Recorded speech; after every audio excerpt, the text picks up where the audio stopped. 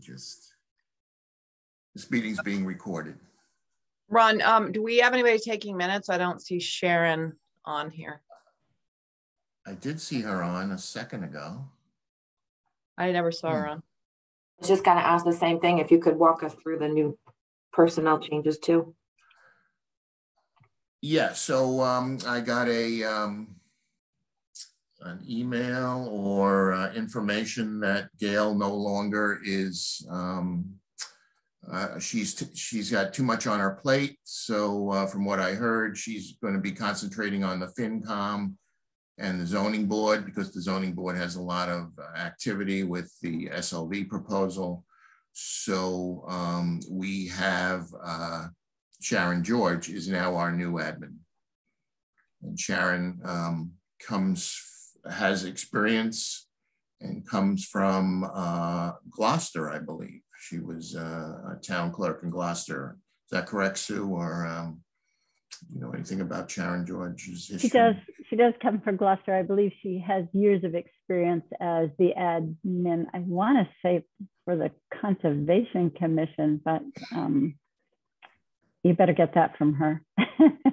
she does Okay. have a lot of years experience, and I forget the uh, the full bio, Okay, but it is from Gloucester.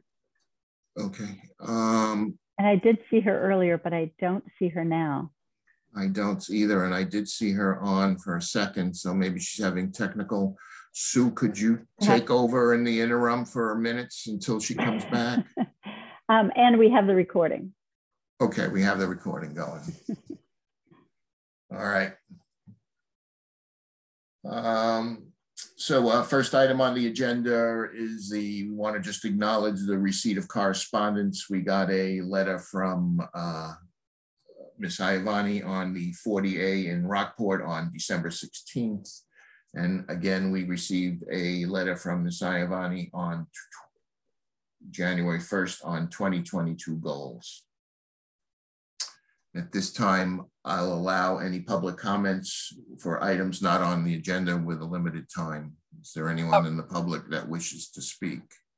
Sorry, Ron, um, I also forwarded an email I received from Mark Glovsky that was a copy of a letter sent to the planning board back in June or July of 2020, which I hadn't seen, but he want, since Laura has probably not seen it and it wasn't fresh in people's minds, I forward that along, forward that, forwarded that along as well.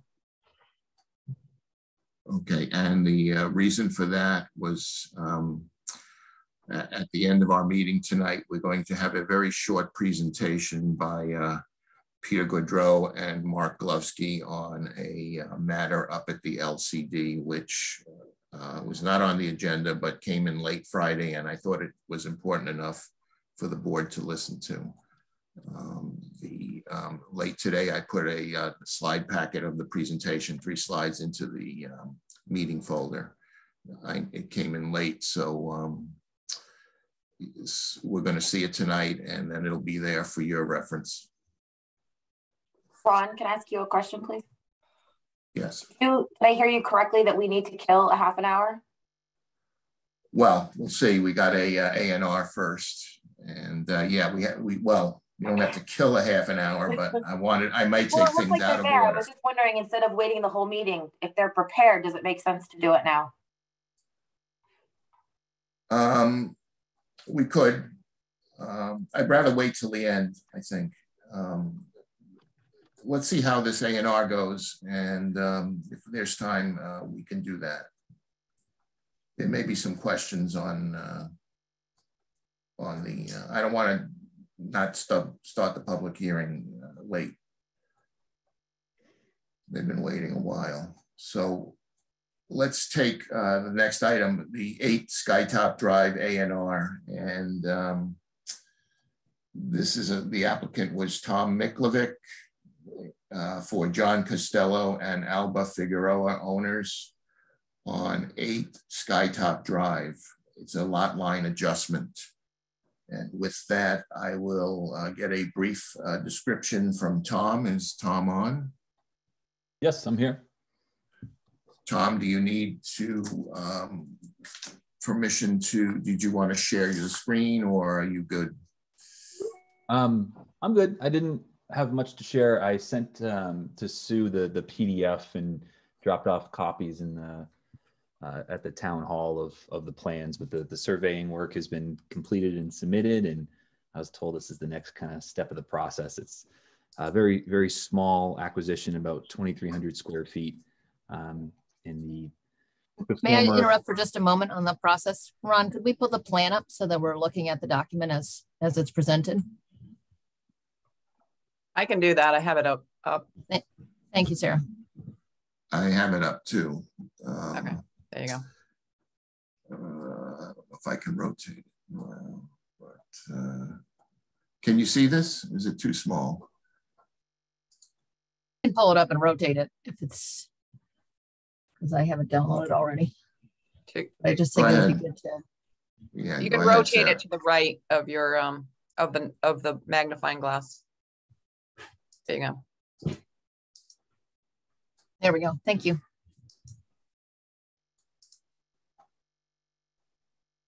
Yeah, so if that's great. Yeah, so the um the checkerboard uh type type pattern there defined as, as lot A. Um so I'm in the the property of uh eight Skytop and the current checkerboard, that little triangle belongs to four Skytop, which is Alba and John. Um, so we're looking to convey that from four to eight.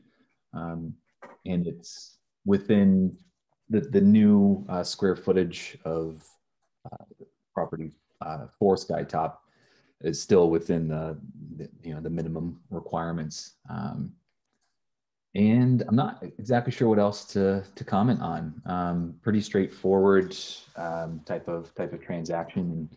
Um, yeah, are there any specific piece of information that I should convey?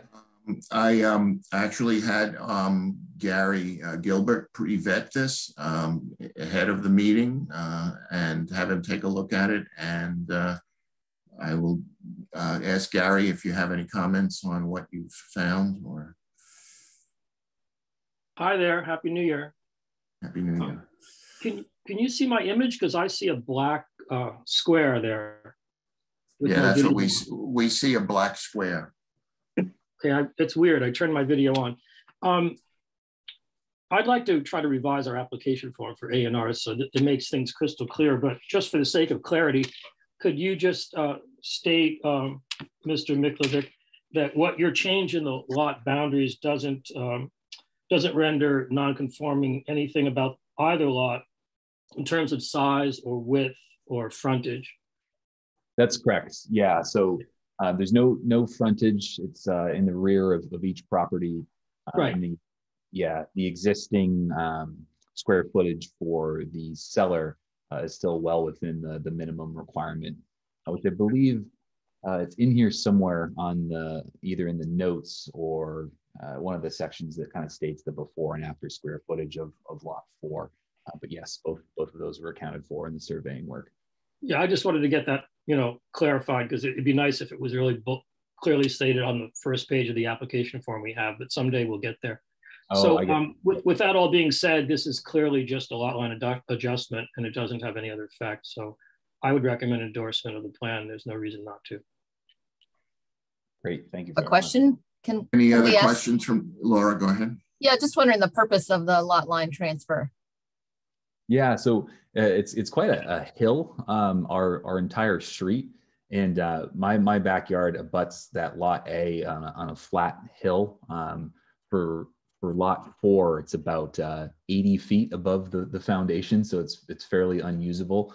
But for for eight Skytop, it feels much like a continuation of the backyard. So that's effectively more room for my little daughters to run around, if, if I'm putting it simply. So it is within the setback area, so there are no plans to build on lot A. It's just simply to add it to the backyard. Yeah, I see the, I, the geometry makes sense to me. I just wanted to understand the, the plans for it. Yeah, no, no, no building. Um, no, um, possibly, uh, you know, a pool, um, that, that would, you know, alter the, the, you know, the lot lines and the, and the setbacks. So we'd have a little bit more freedom as to the, the pool layout in future years, but my daughters are still too young for a pool. So that's a, a dream at this point. I would just clarify that um, they have every right to adjust their lots as they wish. And if that means they can build in, in slightly different areas on their lot, that's also their right. So it's it's it's not a consideration for us in granting um, an endorsement to an A&R. Gotcha. Thank you. Thanks, Jerry. Yeah, just uh, looking to understand the reasoning behind the transfer. So that was helpful. Thank you. Yeah, absolutely. Uh, any other questions from the board?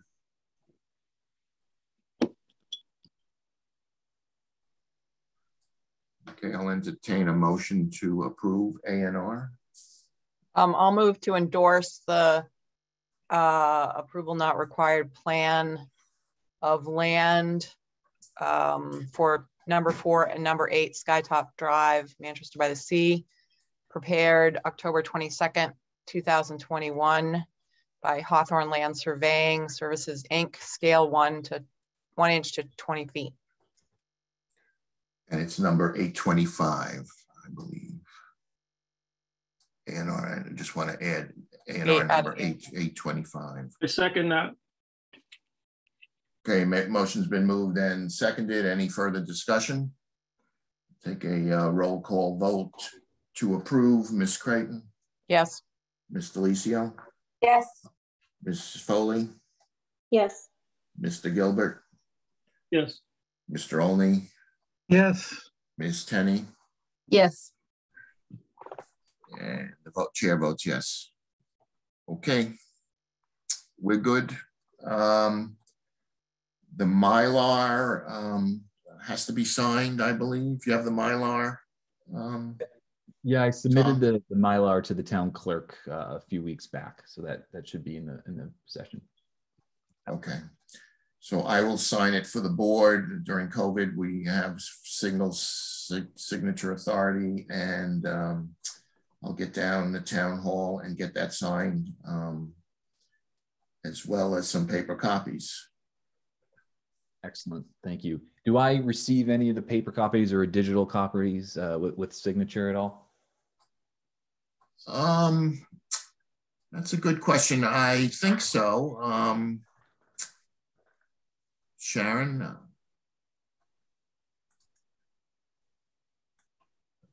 Helene?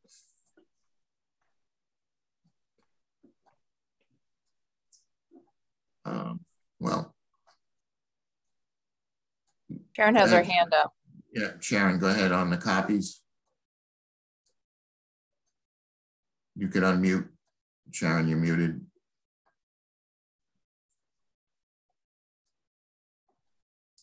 Okay. I have copies of the plan. I'm happy to send him a certified copy of the vote um, with a copy of the minutes.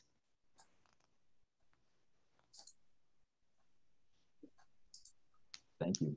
And is, is there a signed copy of the actual um, plan that I need for anything, or, or is it, it's all set? Yes, and I will give him also a copy of the plan. Yeah, so I will sign the mile, it gotta be signed and then uh, with a nu- A and R number on it, and then you can take it down. Right. Registry or wherever it goes. Thank you so much. Thank you, everybody. Okay. Thank you. Okay, so uh, we still have 15 minutes. Um, I don't know, do we want to take on the um, the Peter Goodrow? Are you guys ready? Or uh, should we wait till the end? I think we I want to wait till, with enough time to talk through it. Okay, Ron, it's Peter. I don't believe we have Mark. I told him that, I told I'm- him I'm I thought it would be closer to eight thirty and I was gonna let him know when we got close. I'm here. Oh, you are here? Yeah, Sorry, I didn't see you. no, I'm not very noticeable. I would, uh, the other people, we also told the, the folks from Cell Signaling that we would, that we thought it'd be late and I think they'd like to attend too, so. okay, we'll wait. We'll Thank you. move on. Uh, we'll move on. I think recodification might take some time. Let's move on to the zoning maps update. Um, Sue Brown, uh, what's the latest on the zoning maps? Sure. I um, spoke with Priya with Aptio today. She's going to be sending me a scope and um, just a general outline Um, we agreed on 2,000 um, for the upper limit, but she doesn't think it will take that. We believe that we have all of the um, everything that we need already existing. So it's just a matter of formatting the maps and double checking and making sure that we're happy with the way that we look, that they look. Um, she recommended um, an actual eight and a half by or 11 by 17 to put um, as a fold out, um, which would provide us some options. We may do an inset of the D1 and D2 just because that's the one that's smaller that might need some more um, some more clarity to it. So um, I think we're all set. I'm guessing that it might take a you know up till the end of the week, but I would I'll share a draft and um, it should be it should be fairly straightforward. But I definitely will share it with you to see if we have all the information that we needed. it's available now online, not the map, but all the layers, but they're they're they're um they're they're hard to find and they're I just want to make sure that we have the right maps and right references for this new map. So, a little bit of homework, but we should be good to go. So would we would we be creating additional zoning maps, say for uh, maybe in the future on this 40A um, uh, edict from the state, and would we be using the same people, or uh, is that a possibility? Or um, sure, when, once we have another overlay district, we'll have to create a new one, but we can't really do that until until that happens. Are we That spending? wouldn't be part wouldn't be part of this scope, but it'll be. Okay, do, do, are we spending foolishly because it has to be revised again, or you think this would be, um, No, I think I think it would be an it could it would probably be an add-on just to one of the maps, but we certainly should have a, a a much clearer map or set of maps than we have now. So I think we're all good.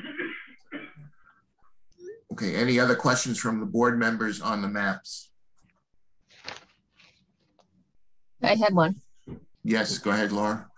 Does this um, series of map include flood zone mapping? And if it does, do you know, it's, it's, has FEMA updated any information that we should be included or the state? Yeah, that's a good question. So we will not be putting the FEMA, we will not be putting that as an overlay district because as you know, that, that can change with FEMA's, um, with any changes that they make. So while it's referenced in the, um, in our zoning bylaws, we can't create a static map of it. So that will still exist as a layer on A layer was what I was wondering, yeah. have- That people will have to refer to. It won't be on the static map. Sure. Okay. And is it, is it time for that layer to get updated? Is that in the scope as well? Um, no, that's not in our scope. I don't know how often that is updated. If it's if it's something that um, that the assessor's office updates annually, or I- I'm not sure of the. Okay. I don't know how often FEMA updates, but I know Yeah. that it's a, it's a Yeah. backwards looking map, obviously, since it's Right. FEMA. Yeah. Okay. Thanks, Sue. Yeah. Does Sharon have her? hand Karen, up? you have your hand up? No, I don't. Okay. Just looks like it. Okay, any other questions on zoning maps? Thanks, Sue. Um, uh, blasting regulations update, Christine Delicio, where do we stand on that? Sure. So I, I saw Sue's updates. Yes, I did talk with the fire chief for several hours and I talked to the author of the citizens petition and basically the fire chief is under the impression that everything that we need is, you know, stated by the state in their regulations. Um, so I did some research and I came across the town of Sharon and um, it's actually mostly the guidelines for these blasting regulations usually fall under the Department of Health, not under the planning board. Um, so we're gonna have to figure out maybe how to adjust that. But I have a document for the, there's not very many guidelines within the state of Massachusetts, but I've put them together. Sharon, um, there's a woman that's on the Sharon Board of Health. She came up with, I think, some pretty great, simple regulations that incorporate several of the things that Sue identified in her planner's report. Um, I was going to share them with the you. There's some municipalities that have just maybe four lines. You need to abide by all the state regulations, pay the fee, and give 24 hours notice. And then you have regulations or not regulations, yeah, guidelines that go 14 pages. I think we want somewhere in between. I was hoping for like a half a page. Just wanted to um, share. There was like six municipalities that I found. And I also found a document from New Hampshire that pretty much outlined our our our scope of what these guidelines should be. And those could include um, once we're looking at the site before they determine that they need to blast if they can tell us in the original um, application if they do intend to blast maybe we would have some early on feedback maybe to move the project instead of actually blasting especially in some sensitive areas that may um, be near water resources. So I have six um six municipalities. I was going to share the document. You guys can take a look and give me some feedback.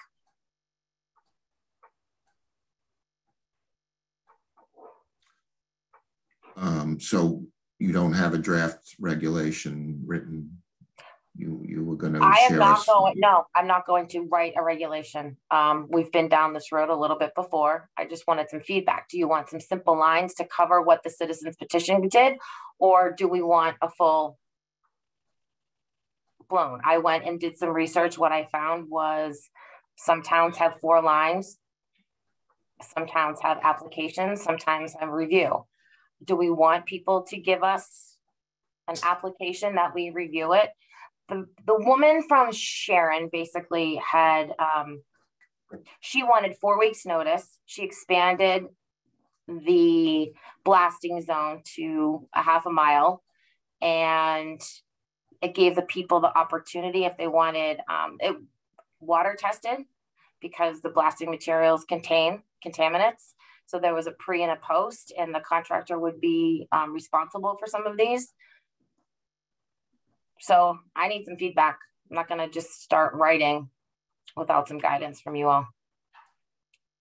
Well, we're not blasting experts. Go ahead. Um, uh, Christine, did you, does the fire department have an application form?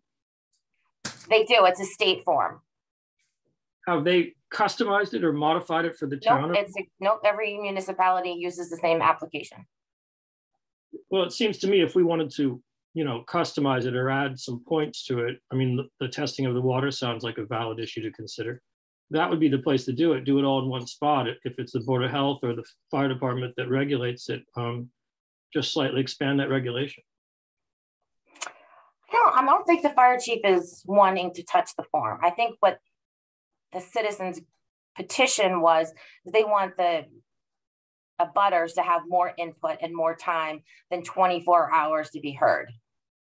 So the current regulations require that there be 24 hour notice and abutters. Um, sometimes they can do these surveys before and then they give the 24 hour notice and the abutters aren't necessarily uh, made aware of the blasting with more than 24 hours notice. So I think that's where the concern is. I really don't feel that the fire chief wants to change the state form. He wants this to be on the planning board.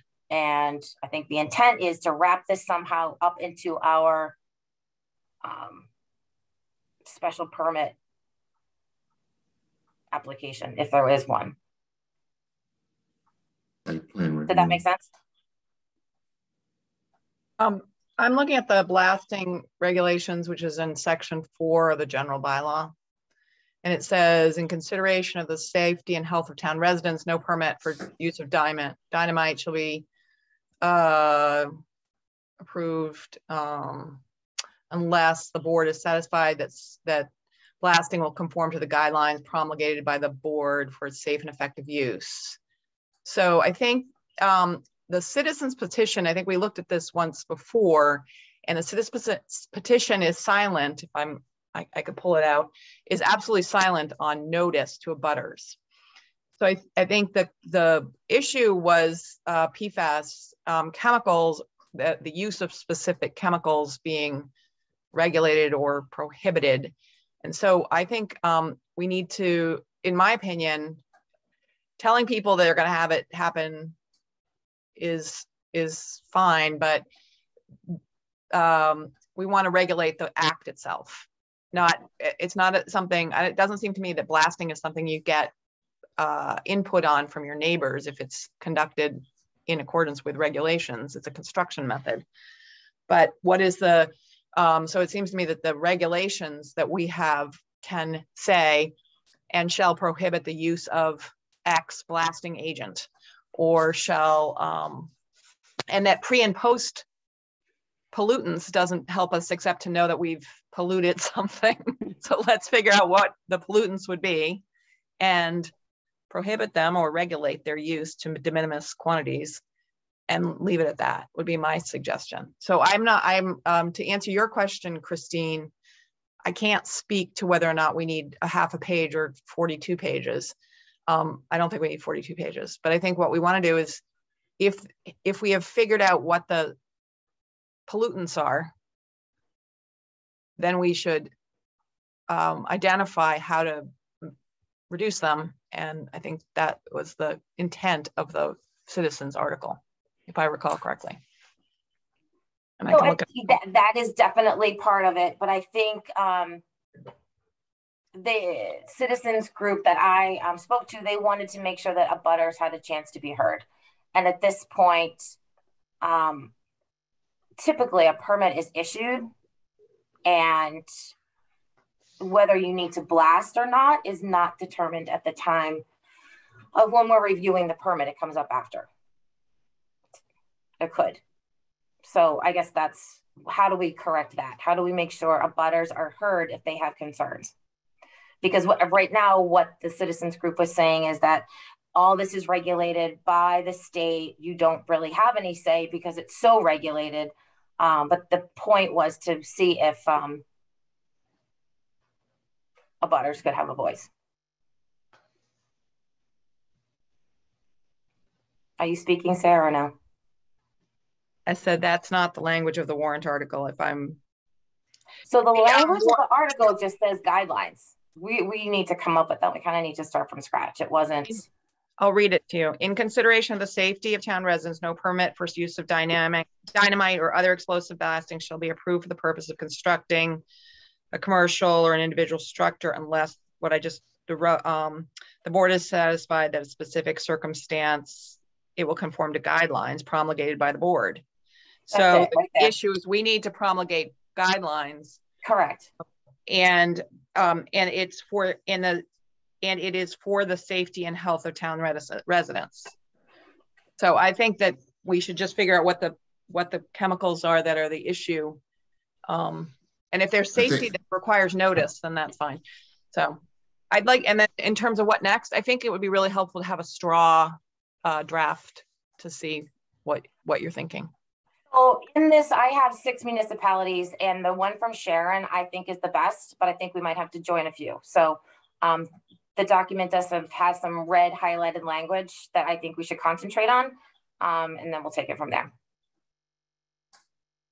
So are you going to share these with I us am. or are you? And who's going to write a draft? There is or a draft. Is I mean, I think Sharon's language is is is a hmm. good place to start.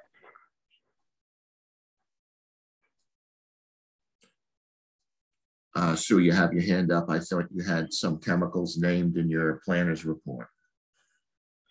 So um, I did. Um, I did um, come up with a draft of, of guidelines um, that I referenced in my planning um, planner's report. I, I finished speaking with a blasting consultant today and I double checked with the fire chief on, on a few things and I uploaded to SharePoint um, late this afternoon um, some draft guidelines. It's about a page and a half. It covers um, um, a, everything that I had outlined, but just gave it a little more teeth and gave it a little more explanation of, and it covers both things from everything from, um, you know, not allowing certain chemicals to testing the bedrock um, to see, uh, check with about acid um, leaching Um, and also notifications and presentation of a blasting plan to residents to so that we can get to the point where people do want to be here and they want to understand what the blasting is like and how it would be handled, how notifications would be given, et cetera. So I think it's a, a fairly comprehensive, but I'd be interested to know if Sharon had some other things that we would be interested in as well. So maybe it's maybe we could marry the two. I think there are Oh. eight eight items that that, that is in SharePoint. We are on SharePoint. It's not in the meeting folder. Uh, It's separate. n- nope. Yeah, I put it under. I think I It's in the meeting folder. yeah. Oh, I did put it in the meeting folder. yeah. It is? I didn't Mhm. see it there. I, I put it on late this afternoon after I had finished talking Okay. to the chief, which was later today. He had to rescue someone from an elevator today. So uh, Christine, you had volunteered to write a draft. Are you, are you not going to and we can get someone else? Or uh, what, what's, are you going to just share us the Sharon thing or what's your, what's your position on this? Well, I, like I said, I was trying to get some feedback right now. So I think I shared what I found. So Well, you got some feedback. So can you put something together? sure. Okay. Anyone else have any comments? I heard from Sarah and I think I heard from Gary. And you heard from um, I Sue. did not have time, and I think I just need to reiterate that there was a lot of things that came in this afternoon. I don't know what everyone else's work schedules are, but I cannot take a look at things that come in a few hours before the meeting. So I did not see that, Sue. So I will take a look at that in the future. And if it's helpful, I'm happy to, I'm happy to take what you have and just blended into what I have. Um, and I haven't received feedback from mine either, because so it's it's just out there for initial review.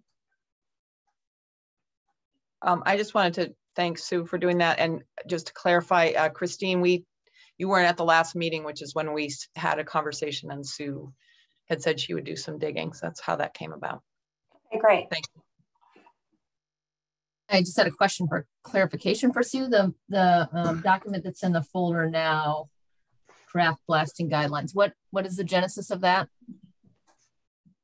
So, uh, well, it's just um, from research, um, talking Research, with the okay. fire departments, and um, I did one, some of the, the one on the acid rock um, leaching.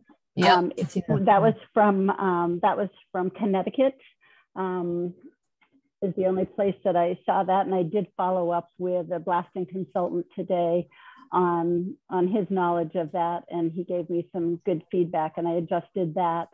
Um, and then It the sounds like, go ahead. Yeah. sorry, I didn't mean to interrupt you. Nope. Um, the, the construction logistics plan that would, that every contractor would be required to submit to the town and would get into the details of means and methods such as blasting.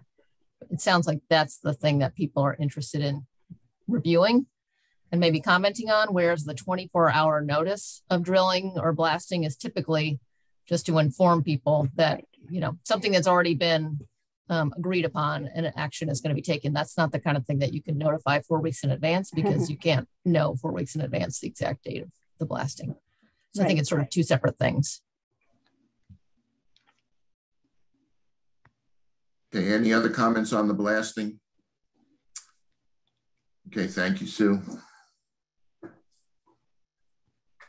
Okay, at this time, um, I'd like to open the public hearing from December thirteenth, twenty twenty-one on the special permit application of Susan St. Pierre on behalf of Edward and Karen Crawley for a special permit under section seven point five and four point one point ten J of the zoning bylaw to restore an historic seawall and install a timber pier gangway and a float on their property along Whittier's Cove at 94 Bridge Street. The board conducted a site visit on December 11th where the owner's representative and the applicant were both present. Um, at this time, I would like to turn um, the um, floor over to um, St. Pierre for comments and presentation. Okay, I have a, a brief PowerPoint presentation, if I can show you that. Let me, let me give you uh, co-host you're on. Can you see that? Not yet. Hmm. Okay, hold on. You gotta hit share. Hold on. Let me see.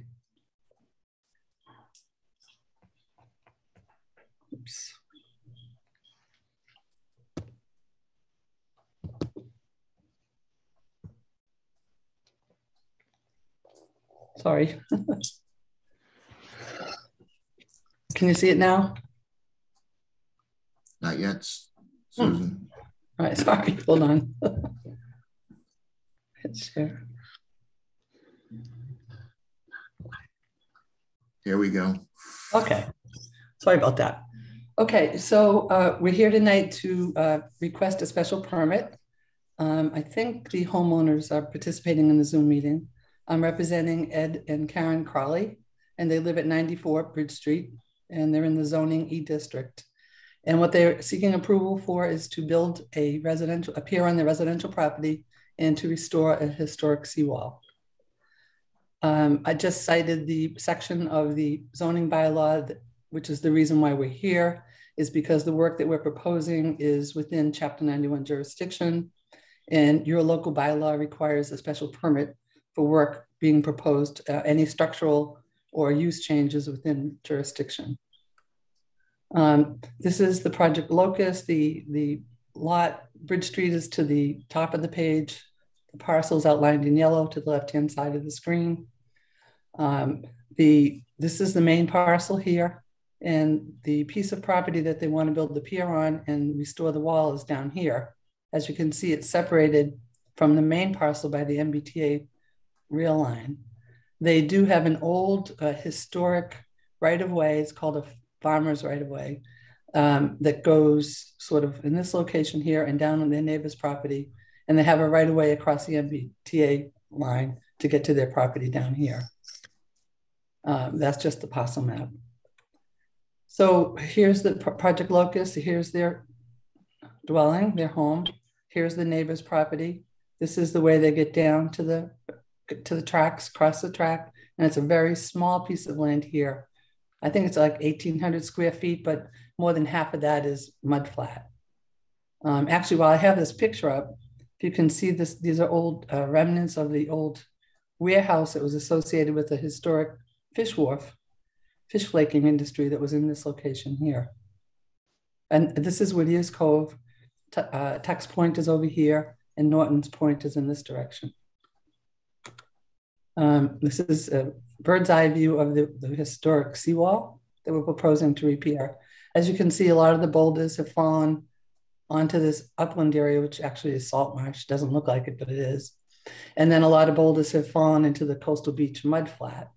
So what we're proposing to do is to take these boulders and put them back and uh, restore the wall as it was a dry laid seawall. Uh, here's another view looking towards um, Norton's Point. And you can see the remnants of the old fish flake wharf here. You can see some of the old piles and some of the old timbers that were part of that, that wharf there.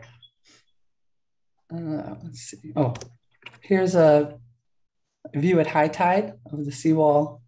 You can see the corner there. And here's a view at low tide. Uh, here again, you can see the right of way through the neighbor's property, how they cross the tracks and get into the site. Um, there's a lot to see on this map. So it's hard to see, but this is the uh, this is the parcel. So you can see a lot of it is mud flat. So this is the seawall that they're going to repair. It's all on their property. They're very close to the adjacent property here. We're actually going to have to go to the Board of Appeals to get some setback variances.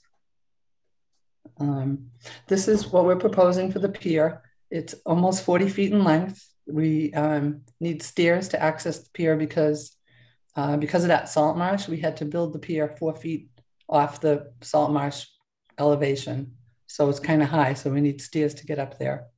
So it's about almost 39 feet in length. And then we have a six foot wide landing at the end of the pier for loading uh, gear off and on the boat and storing kayaks and things like that. And then we have an aluminum gangway going down to a eight by 16 foot float. Now this facility, because the, the area, you know, during low tide is a mud flat will only be used to berth their, their vessels during high tide. They have a mooring out in Manchester Harbor. Um, so also as part of um, taking the boulders off the salt marsh area, we're also going to be restoring the salt marsh area here. We'll be regrading back to the top elevation of the seawall and then planting salt marsh grass species in this area and along here. This is just a profile. Um, so we're required to demonstrate that we comply with the provisions of the, that the, the board issues special permits from. So um, the, site, the site size accommodates the use. It's adequate room for a pier facility. It's a suitable use because it's adjacent to Whittier's Cove. So a pier adjacent to a cove or the ocean is a suitable use. Uh, there'll be no traffic impacts, um, no adverse impacts on the visual character. And I think restoring the historic wall is going to improve the visual character of the area. And we have no utilities. Um, and we do, we are going to be enhancing some of the wetland resource areas, including the salt marsh and the coastal beach. So in terms of required permits, it's always complicated doing things on the waterfront. But one thing we had to file was a notice of intent with the Conservation Commission. And we did that early last year, I think it was. And we finally got an order of conditions approving the project in August. Um, we need a, a planning board a special permit. And as the chairperson said, whoops, we did have a, a site visit in December. We do need to go to the zoning board of appeals, which we plan on doing probably in the next couple of months. The reason we didn't go earlier was because um, you have to build whatever you're going to build within one year, and Chapter 91 licensing sometimes can take longer than that. So we didn't want to be premature in securing that permit. We just recently filed the Chapter 91 license, and then we just recently filed the U.S. Army Corps of Engineers notice of project construction. And that's it. Thank you, Susan. You're welcome. Um, at this time, I'll take any questions from the board.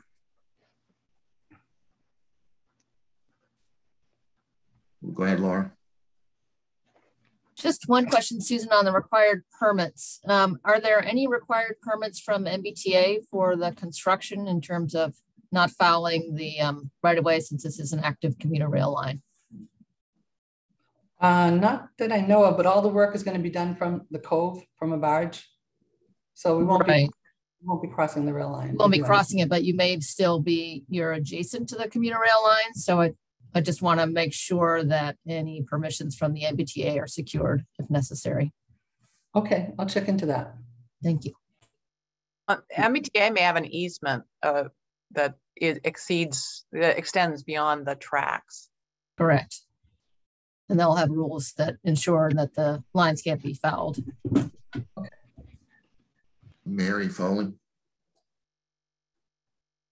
Hi, thanks. Yeah, I was thinking along those same lines, just kind of what the MBTA easements, um, I guess, language was. I mean, obviously, um, there's a safety issue with crossing the tracks, which is not part of this, um, not part of our permitting process, but um, I guess with the building of it and the, then with the ongoing use of it, kind of how that easement works and um, um, if we need to know any of that language.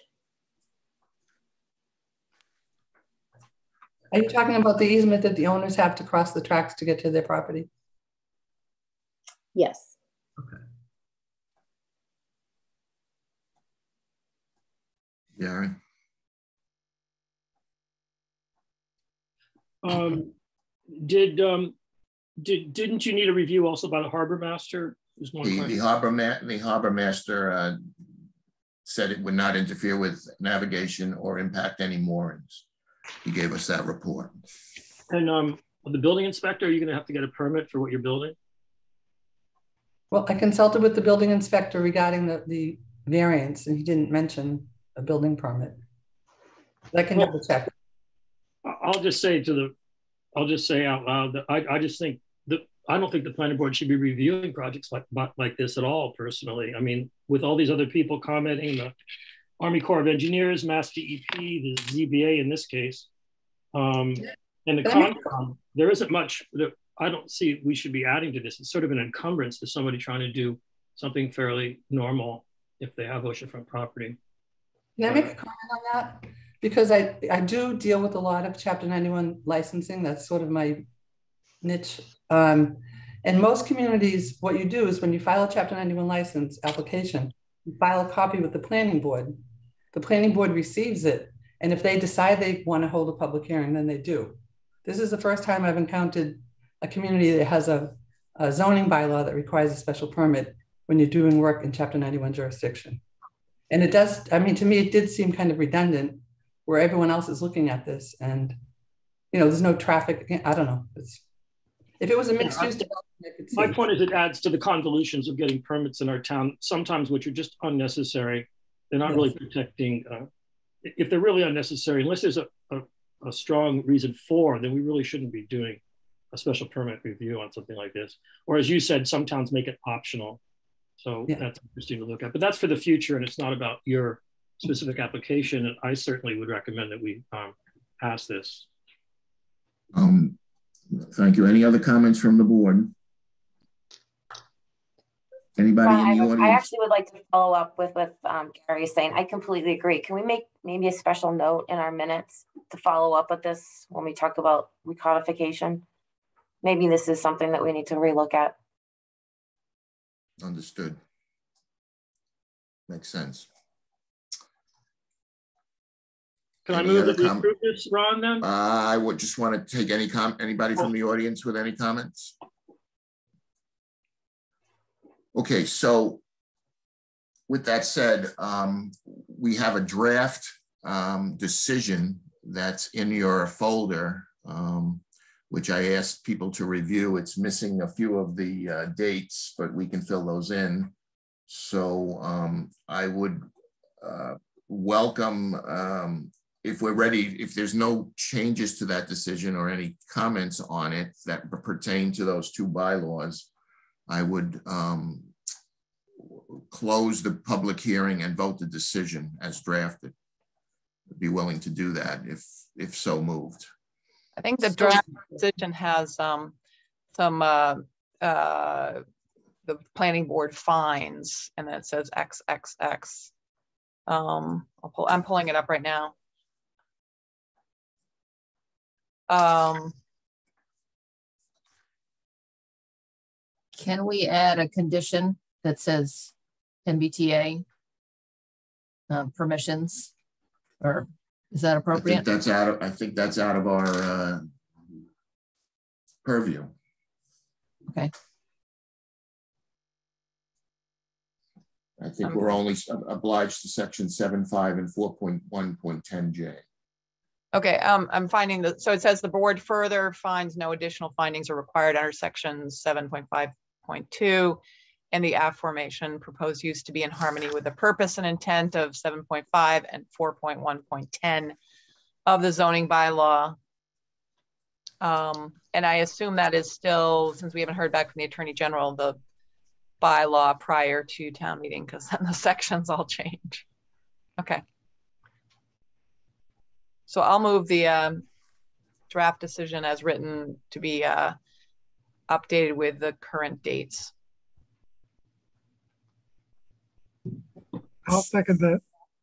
So I would need to close the public hearing first before we vote the decision. No, I'll move. I'll move. Go ahead, Sarah. I'll move to close the public hearing. I'll Is second that. Seconded? I'll second it. Roll call. Sharon has her hand up. Sharon, go ahead. Um, I will make the changes to the decision, of course, once we're finished with it tonight. Great.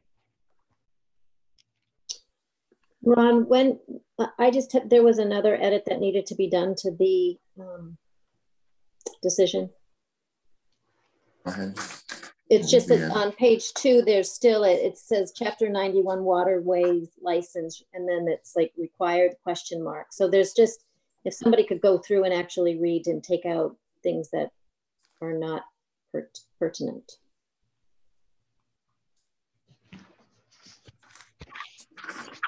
On page two?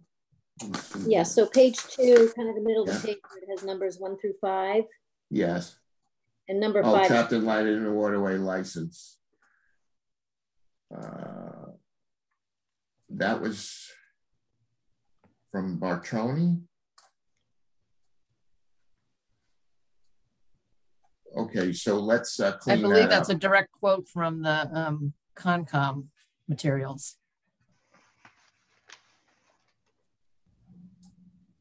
Oh, so that was a cut and paste from Concom. Hmm. Yeah, Right, correct. Um, perhaps that question should be answered then. Susan, doesn't it require chapter 91? Yes, we applied for one. So we just applied for one last week. Okay, It, it does, yes. So we could take out the word required then. Yeah, exactly. And then obviously question, you know, page three, there's public comment and there's just X's. So I'm assuming all that stuff gets taken out. Oh, yeah, there was no public comment, so that'll go away. None, we can put in none. Okay, so a, a motion has been made and seconded to close the public meeting, uh, public hearing. Uh, Ms. Creighton, Yes. Ms. Licio, Yes. Ms. Foley,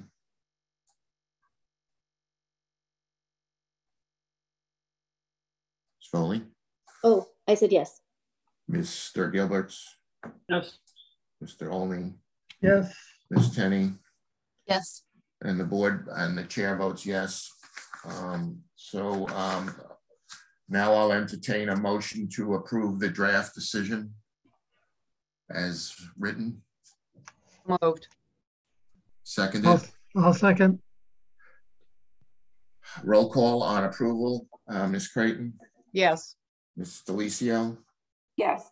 Ms. Foley, Yes. Mr. Gilbert, Definitely yes. Mr. Olney, Yes. and Ms. Tenney. yes. Okay, Susan, we'll get something out. Thank you Thank very you. much.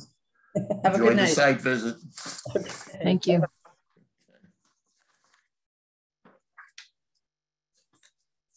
Okay, at this time, I would like to open the public hearing for one eighty-nine, one ninety-three School Street zoning bylaw, section six point nine.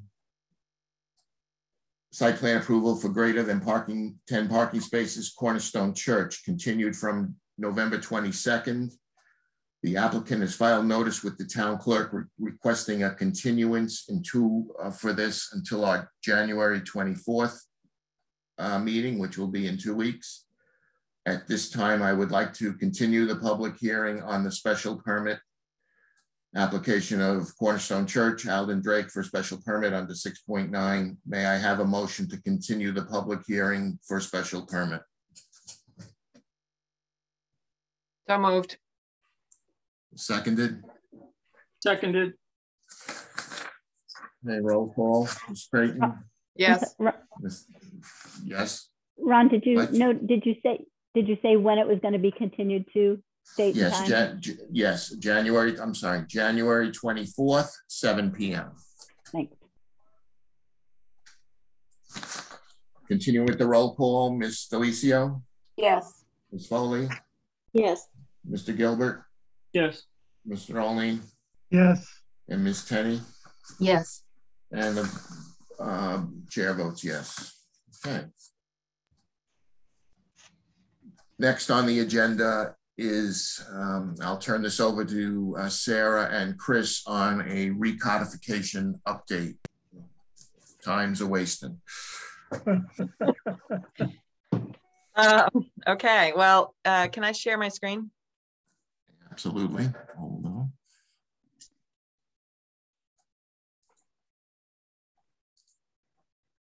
on. Okay, um. So Chris and I have been working, Chris, feel free to jump in here. Um, we, as you know, um, as we talked about last meeting, um, and, uh, we've identified a number of, um, uh, items for, um, uh, um, for, um, work for updating the bylaws. Um, mostly those things that were identified by um, the prior work with Mark Bobrowski. And uh, there's a lengthy list and it's not everything that we would actually like to do, but nonetheless, we sort of decided to take some big chunks and hope that we could get them done. Um, I'll come to kind of a summary of them in a back in a second. Well, let me walk through what this is. Um, and I know I put some things in, I'll, I'll tell you where they are on the SharePoint. You, a few of you had a quick chance to look at them.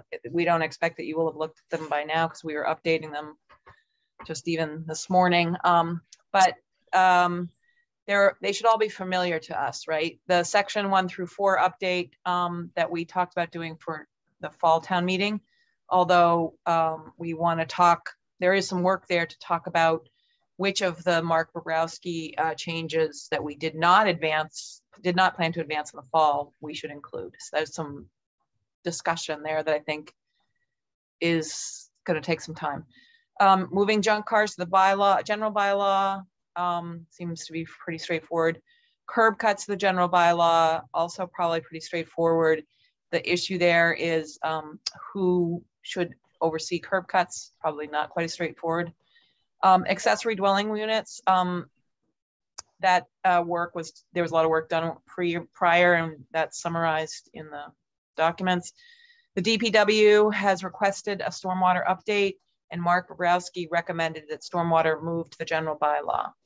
There's nothing there yet on that. Um, non-conforming uses, there's a nice um, new section that Mark Bobrowski proposed. Um, same with residential cluster. Um, the new administration section, um, oops, section 12 um, is what we proposed for the fall. So, so that should be pretty much done. Uh, we've talked about the LCD and we'll probably be talking about that some more later. Um, adult entertainment is one of those things that um, we said we um, didn't have regulations and uh, and that we should to protect ourselves. So we just cut and pasted Mark Bobrowski's proposal. And then section six general requirements actually have a lot of very nice uh, proposals from Mark Bobrowski about review of special permits. So we did at the last second include something on that. Um, Chris, do you want to say uh, anything about the, um, I didn't include it here, the status of the um, state uh, downtown high de higher density, um, where that stands? Because we it's on our list, but I we've sort of said hold for now.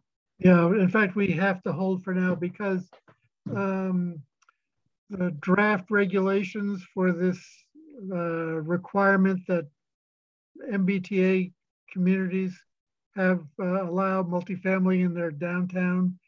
It's still, in, they're getting comments. They're not going to issue the final regulations until June, which will be after the town meeting. And we really can't design whatever it is we're going to do until we know what the regulations actually are. So we're going to have to put that off until a later date. I will tell you a little bit about what the draft regulations say, just so you can uh, think about it a little bit. Um, basically, they require that uh, a zoning district be established within a half mile of a train station that allows multifamily by right. Um, it does set density, which is quite low. Actually, it's for multifamily, it's 15 units per acre. So that's probably pretty similar to what we see at Newport Park or um, I guess Powder House. You know, we're not talking about high-rise structures. Uh, the zoning district, this is one complicated thing, has to include at least 50 acres. And that kind of screws towns on the coast because we can't count the harbor as uh, zonable land. So we're stuck having to somehow make this thing work uh, with less land available. And that might be something that changes when the final regulations are promulgated. But um, so that's basically what we know now. Um, there's still a lot to uh, chew through. And so just keep it on your radar and we'll deal with it in the spring. Um, Sue, correct me if I'm wrong, but I thought the document documentation you sent out said you have to have a plan in place by the end of this year. Um, yeah, they are asking for you to have a plan in place, but a plan to create a plan, not the plan. Okay. They need to know what steps you're taking to get this done in a timely manner. And since it's taken them over a year to issue the regulations, I think maybe we're gonna be okay. Yeah, and for anyone who's interested, there is a webinar um, Wednesday at one o'clock. And if anyone's interested, um, it's just an update to those regulations. I'm happy to share that. Can you share? Um, I think we were going to want to comment on those regulations. Yeah. Um, yeah, Ron, could I add a couple things to that? Yeah, Mary? Um, just to get us thinking about it, because um, they have come out with, like Chris said, the, the draft regulations, and I'm sure there'll be some tweaking, but uh, for a community like ours with the acre requirement and 15 units per acre, they're saying a minimum of 750 multifamily units um, with no limit on number of bedrooms.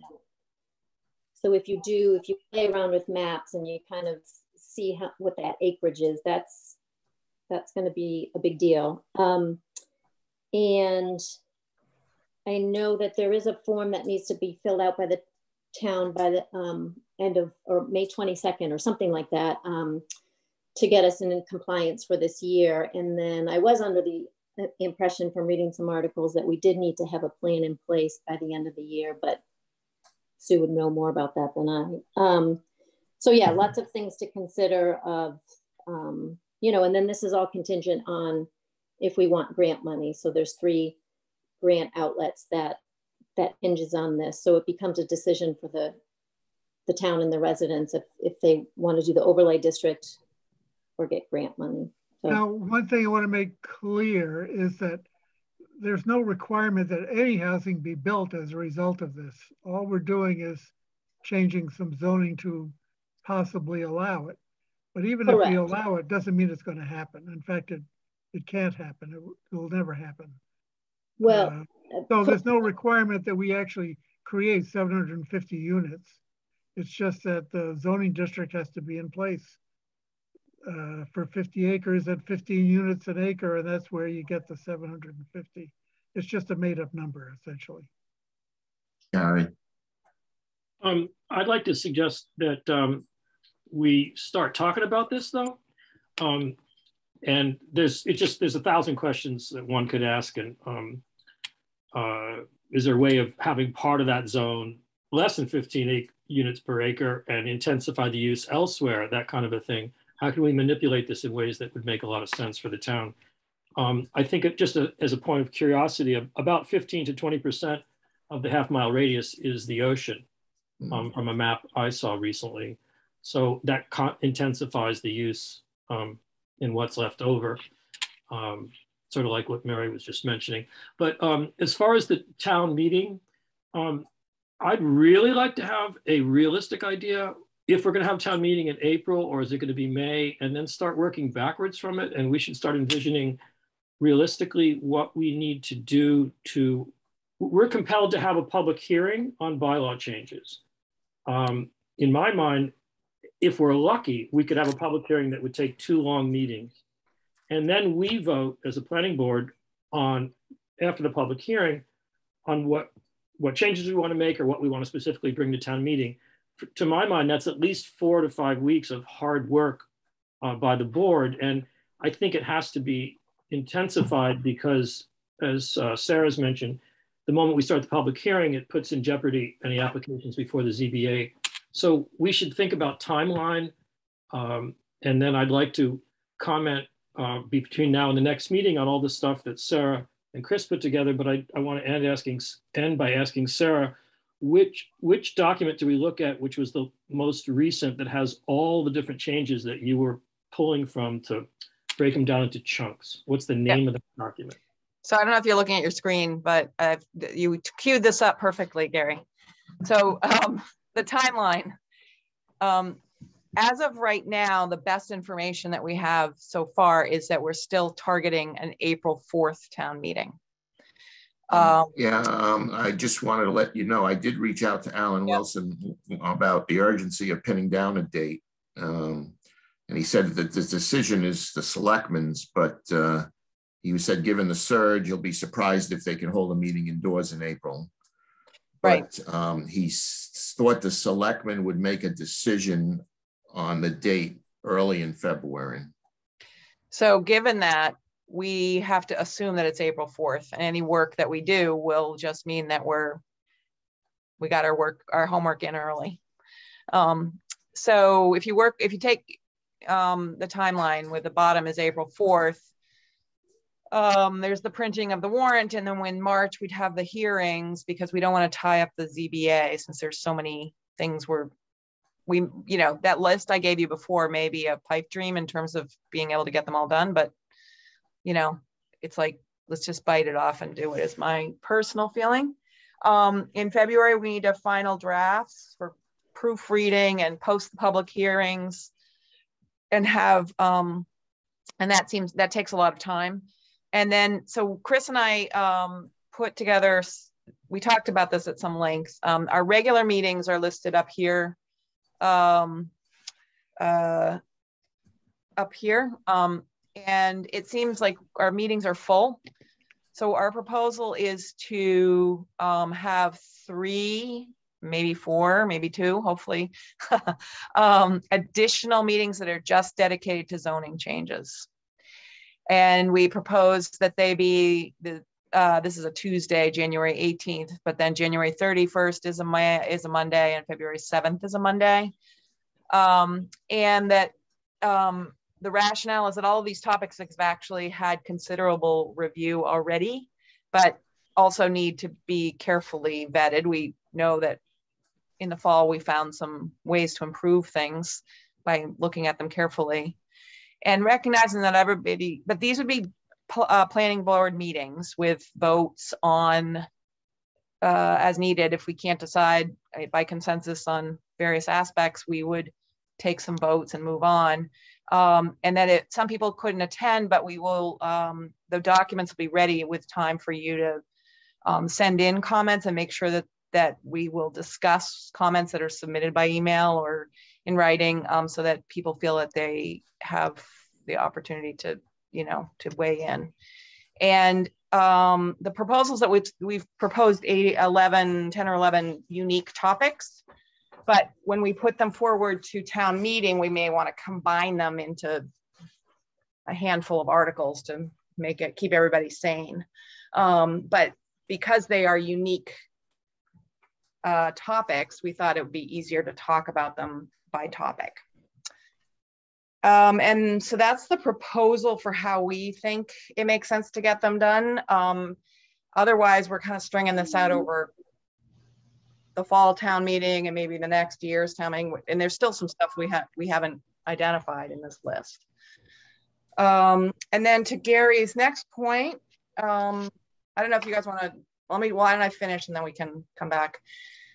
Uh, the files um, are in the zoning recodification folder, spring 22 town meeting folder. And the things in that folder are um, a roadmap, which is called Spring 22 Town Meeting Steps and Status. And that's a document we've been just updating to say kind of a summary, what's next, what needs to be done on each of these, uh, these um, topics. Um, there are, I think, nine uh, draft articles there right now. I called them articles. Like I said, we may combine them into articles, but draft topics. And we use the same uh, numbering convention that we used for the fall, which is just PB, meaning planning board number one, two, three, four, five, etc. Um, and so we, uh, they, so it says PB for accessory dwelling units so that you can kind of see what they are. And each of them, except for the sections one through four, because I couldn't figure out how to do it, um, have two things on it. Um, one is on the left is the proposed article. And then I cut from the current zoning, the current new numbered zoning. So now we're working with our new numbered zoning bylaw. So I um, added in a um, uh, section that says um, what the existing is. So we don't have to, it'll make, should make it a lot easier for you to see what the current, what the changes are um, I didn't have time to, you know, align them up and they don't exactly align um, section by section, but I hopefully that will help um, you to see us all to see what we're doing. So there's the articles, and then there's also the current zoning, which is the renumbered zoning. There's a new table of contents that helps you. I found that very helpful to just print out. Um, there's the zoning changes that were proposed by Mark Bobrowski, which was, some of you know it as draft eight from December 2020. It's called zoning changes. And then there's a memo that describes the rationale that was done when Mark Bobrowski started the work. So all of that is in that folder. And you can use comments for edits, typos, etc., as we did before. Um, I think big proposed changes, you should probably, we'll probably have to create a process for doing that. But let's start with comments. Um, and then to go back, I think, um, you know, we want to, if you have, if you have comment, you know, substantive comments, I'd like to, you know, amend that, you know, section 7.3 as proposed to something. The more specific we can get um, about uh, amendments and modifications, the faster this will go. So it's going to take a, some work on all of us, our parts. We also um, talked about, um, this is Chris and I talked about um, asking you tonight to ask Mark Bobrowski for a proposal to review the strategy, review the draft uh, uh, draft articles again, even though he, most of them are from his original work, but sometimes some time, you know, changes it. Attend the three zoning meetings that we've proposed and attend the public hearings and the town meeting. And then to authorize, I guess, Sue to engage him up to $10,000 and to manage it so that we don't spend more than that $10,000 that's left in the zoning recodification budget. Um, if he says it's going to be a lot more than 10,000, then we'll have to go to plan B. I don't know what that is, but um, so this requires that we all read the material and uh, make administrative changes with comments and make specific comments so we can vote them or adopt them by con consensus. Um, and attend to the extent that you're available um, the three dedicated zoning meetings.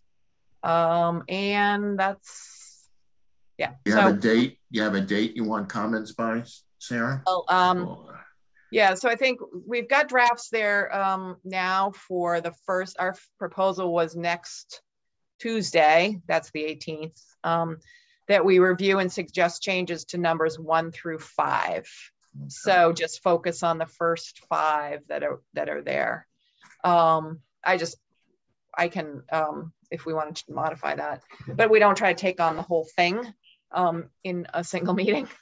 Um, and so getting chain, getting, um, I think, um, suggestions prior to the meeting, maybe, you know, um, the day before would be great. So then we can consolidate them. They're obviously, um, I know Mary's been really good about uh, the, some of the, you know, just, you're really good at the reading things for clarity and typos. And um, one of the challenges is to make sure we foot them you know, that when it references another section in the bylaw, that has to be the right section. And that work has yet to be done in some places.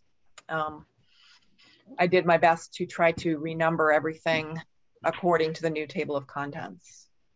And for anybody who's listening on the call who hasn't been down this path with us, we did a lot of changes to our bylaw, re, uh, renumbering large sections um, at the November town meeting. And so those are coming soon to a zoning bylaw near you. Um, I think uh, Gary has his hand up first and then Sue. I'll, I'll yield to Sue first. Thanks, Gary. Mine is just a mine is just a meeting date um, question or a time question. Are you looking for these at a at a regular meeting time, Sarah? At Whatever the board thinks. I was thinking, yeah, six thirty or seven, whatever works for people. Yeah, not a middle of the day. I only I only note that January 18th, um, Chris and I both have a conflict because there's a affordable housing trust meeting that night. Oh. Okay. Good. That's why we're putting this out here now. So what about maybe the 19th? Thank you, Sue. and the 17th is Martin Luther King uh, day, which is why I didn't put it on that. Just It wouldn't bother me. But Okay, um, could I weigh in? Gary, go ahead, Um, Gary. Unless I'm missing something, um, we, we have to, by law, have a public hearing about all the bylaw changes. There's no way on this earth that we could do it in one meeting. I, I, I will be lucky to do that in two. Does, does anybody agree on that? yes, I think you're right. We're going to need two other dates for public hearings. And then um, there's not just one bylaw change here where maybe we could vote at the end of the public hearing as a board.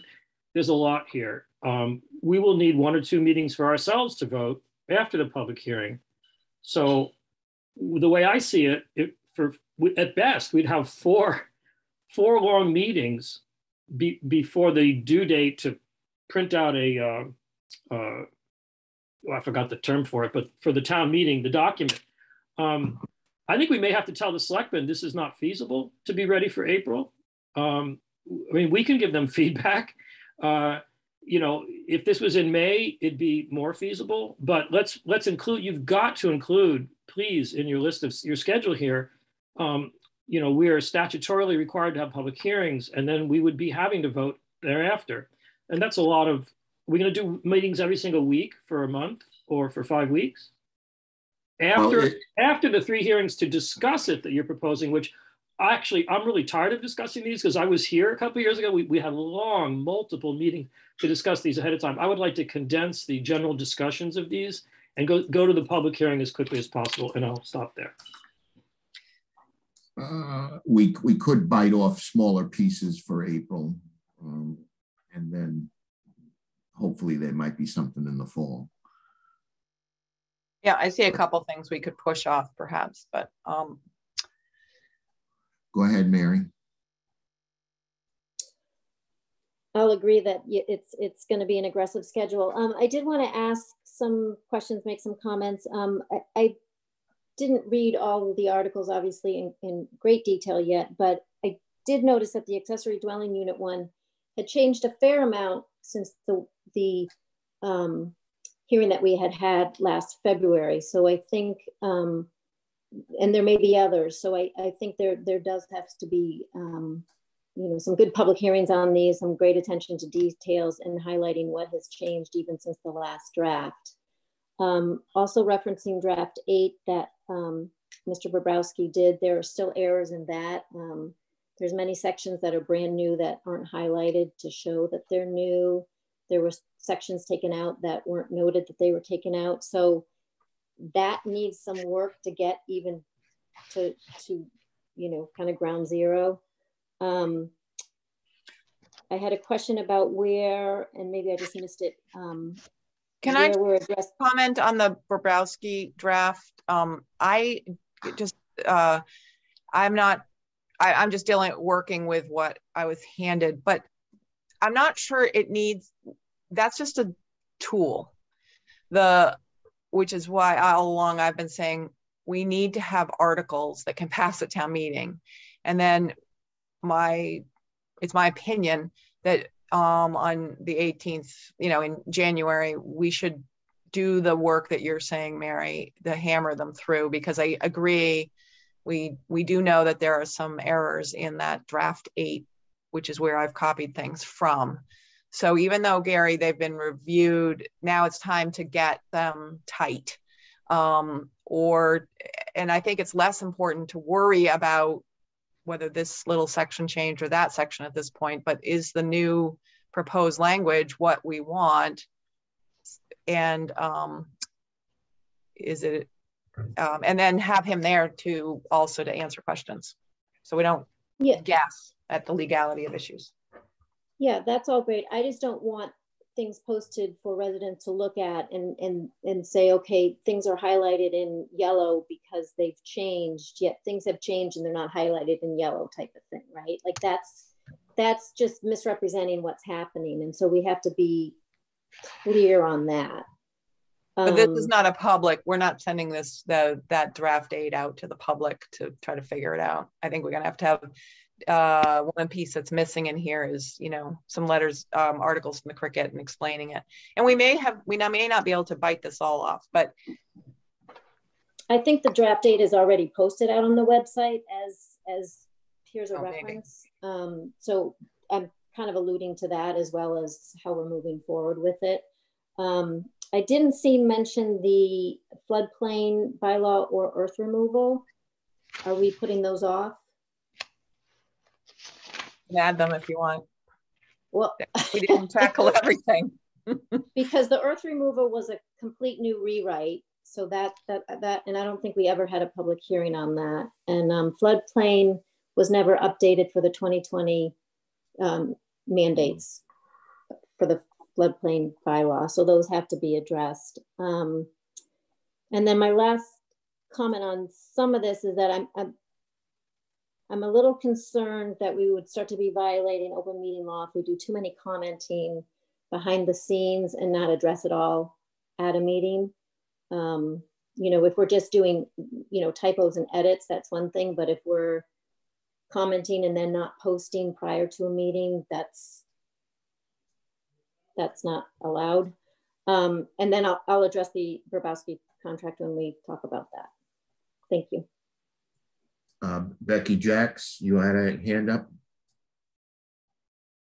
Hi, Ron. No, um, Hi. thank you. Um, Yeah. Becky Jakes. Um, I just wanted to make sure that if you all did want to schedule a meeting for the 19th, that because of the holiday and the amount of days needed um, for proper posting, it would have to be submitted by Thursday. Just, just an FYI. Well, what, what's the uh, board, what do you think the board's, um, the um, mandate of the April town meeting? Do you have any feeling one way on how you guys are, are feeling? Or are you, you going to make a decision by February or? To be honest, I don't know. Okay, I wish I had something definitive to tell you. I was not able to attend our last meeting, so I'm not, okay, and I haven't had an update on that. okay. To, to Gary's point, the, the more it could be pushed out, the better, I think, for our prejudice, for what we want to be done. Okay. Noted. Thank you. Okay, all right. Any other comments from the board? Um, Sarah, Chris, Christine? I guess um, we would, Mary Wow. had a comment about the, um, our proposal for getting Mark back engaged here. Um, and, uh, so that was our proposal was to, to, um, bring him Yeah, back. so-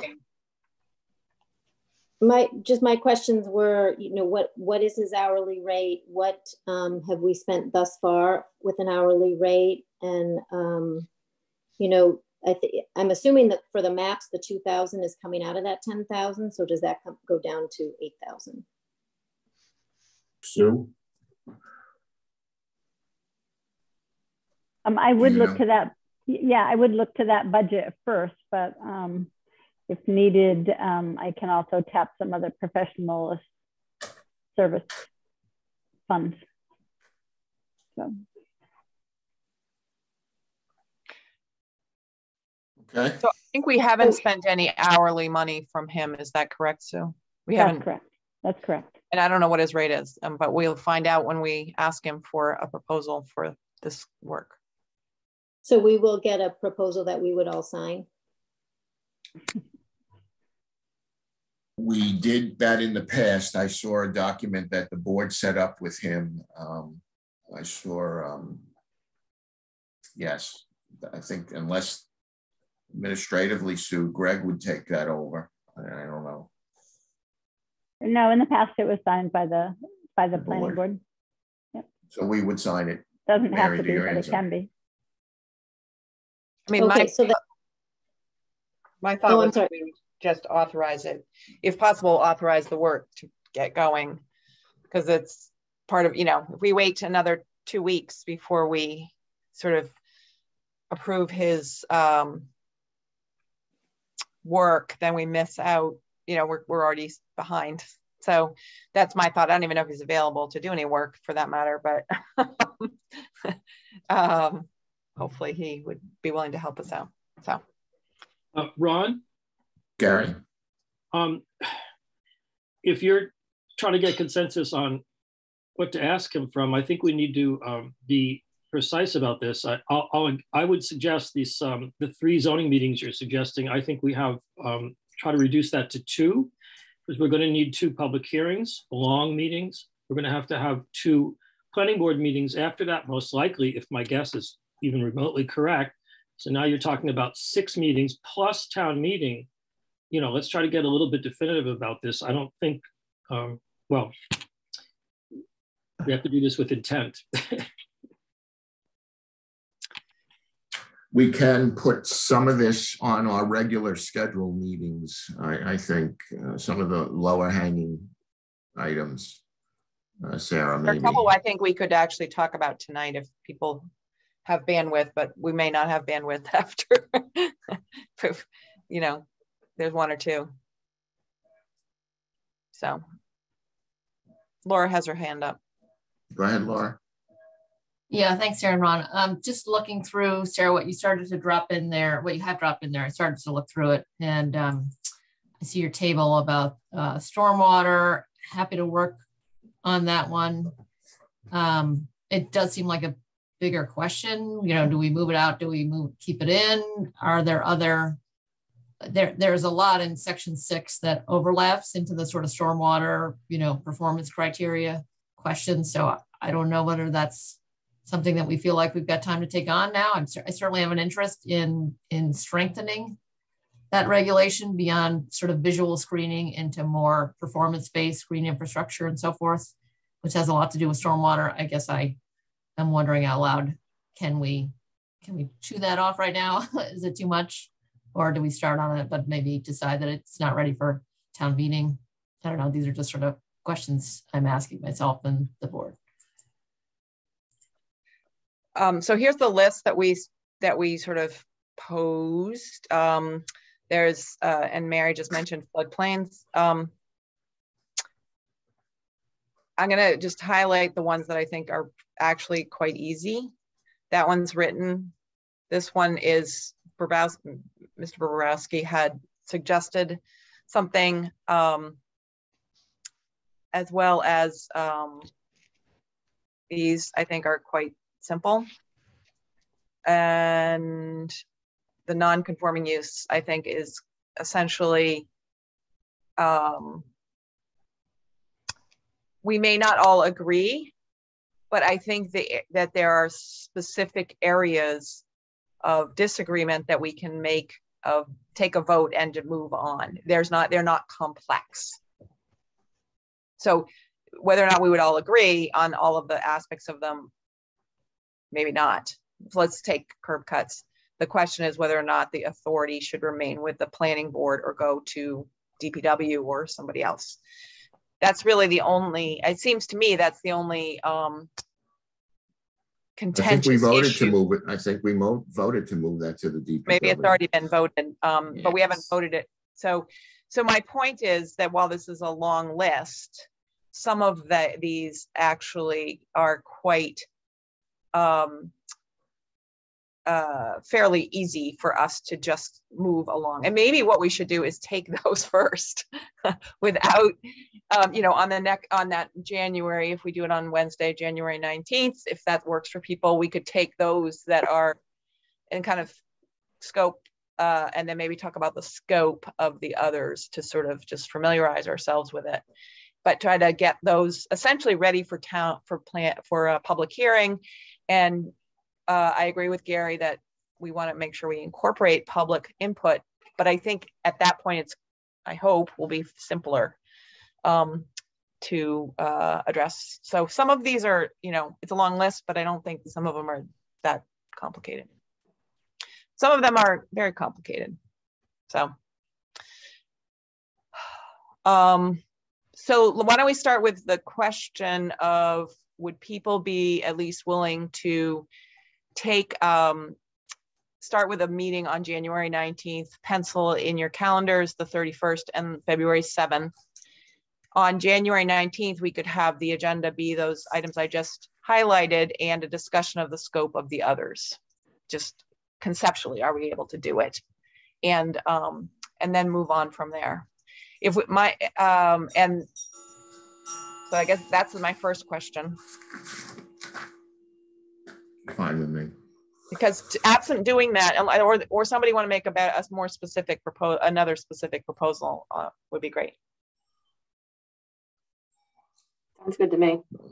Okay, so I'll put together an agenda for Sharon and Sue and Ron. Um, that Moving are the 18th to the 19th, right, Sarah? Yes. Yes. Okay, that that would work better. Yeah. Um, at 6:30, I assume. Is that work for people? Okay. Yeah. And then we'll um and we'll have the scope be uh, these that are highlighted. I might pick one of I I think we'd pick probably this one here too because we worked on that significantly in the spring, in the fall. And then the scope of those others if we have time. But um, okay, and then um, are you okay with, uh, sorry, um, Sue and me asking uh, Mark Bobrowski for a proposal and authorizing him to at least attend that meeting on January 19th. And then on the 24th, we could take up his proposal. And Sarah, I think even if he can't come to that meeting on the 19th, we should probably have the meeting anyway. I don't think absolutely we, we don't need his guidance on most of those things. Simple yeah. things, yeah. Sounds good to me. I think I, do you want to vote on authorizing that or just go ahead and do it? See what the proposal is. We're not spending any. We, we might be spending money to have him come for that one meeting and review some stuff, but I so I. Well, I'll, I'll make a motion to authorize um, Sue and Sarah to uh, propose Mark Bobrowski um, and get a proposal from him on the future. I'll second that. Any discussion? Well, like I said before, Ron, um, it's not very clear to me what we're asking him to put a price on. How many meetings? We're just getting an hourly rate from him. Getting an hourly rate not to exceed ten thousand dollars. Or eight thousand or whatever the number we pick is. I think that seems workable. At the very least, Gary, we're asking him for three zoning meetings, two public hearings, and a town meeting. Uh, and we can add, um, hopefully, by the time we get through a zoning meeting and the public hearing, it's my hope that we will be modifying based on public comment, but not necessarily having any kind of rewrite. There will be planning board meetings after the public hearing is closed. Correct. Yeah.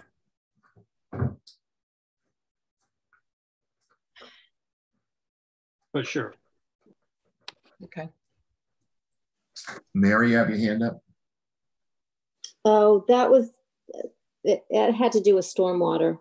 So I, I can we're right in the middle of this, so I can loop back around with that. Okay.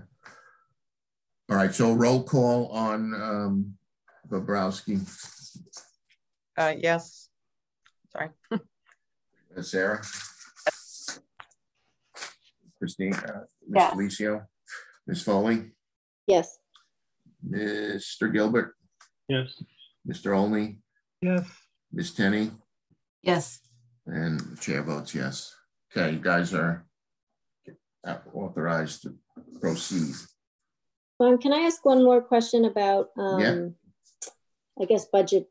Um, because even once this process gets through and we, you know, get through town meeting and all that, I would assume it's a, a decent amount of money to compile and print or, or, you know, put into format and maps and, you know, put the actual zoning bylaw document together. Um, do we have a number what that costs and is that currently in our budget? Sue?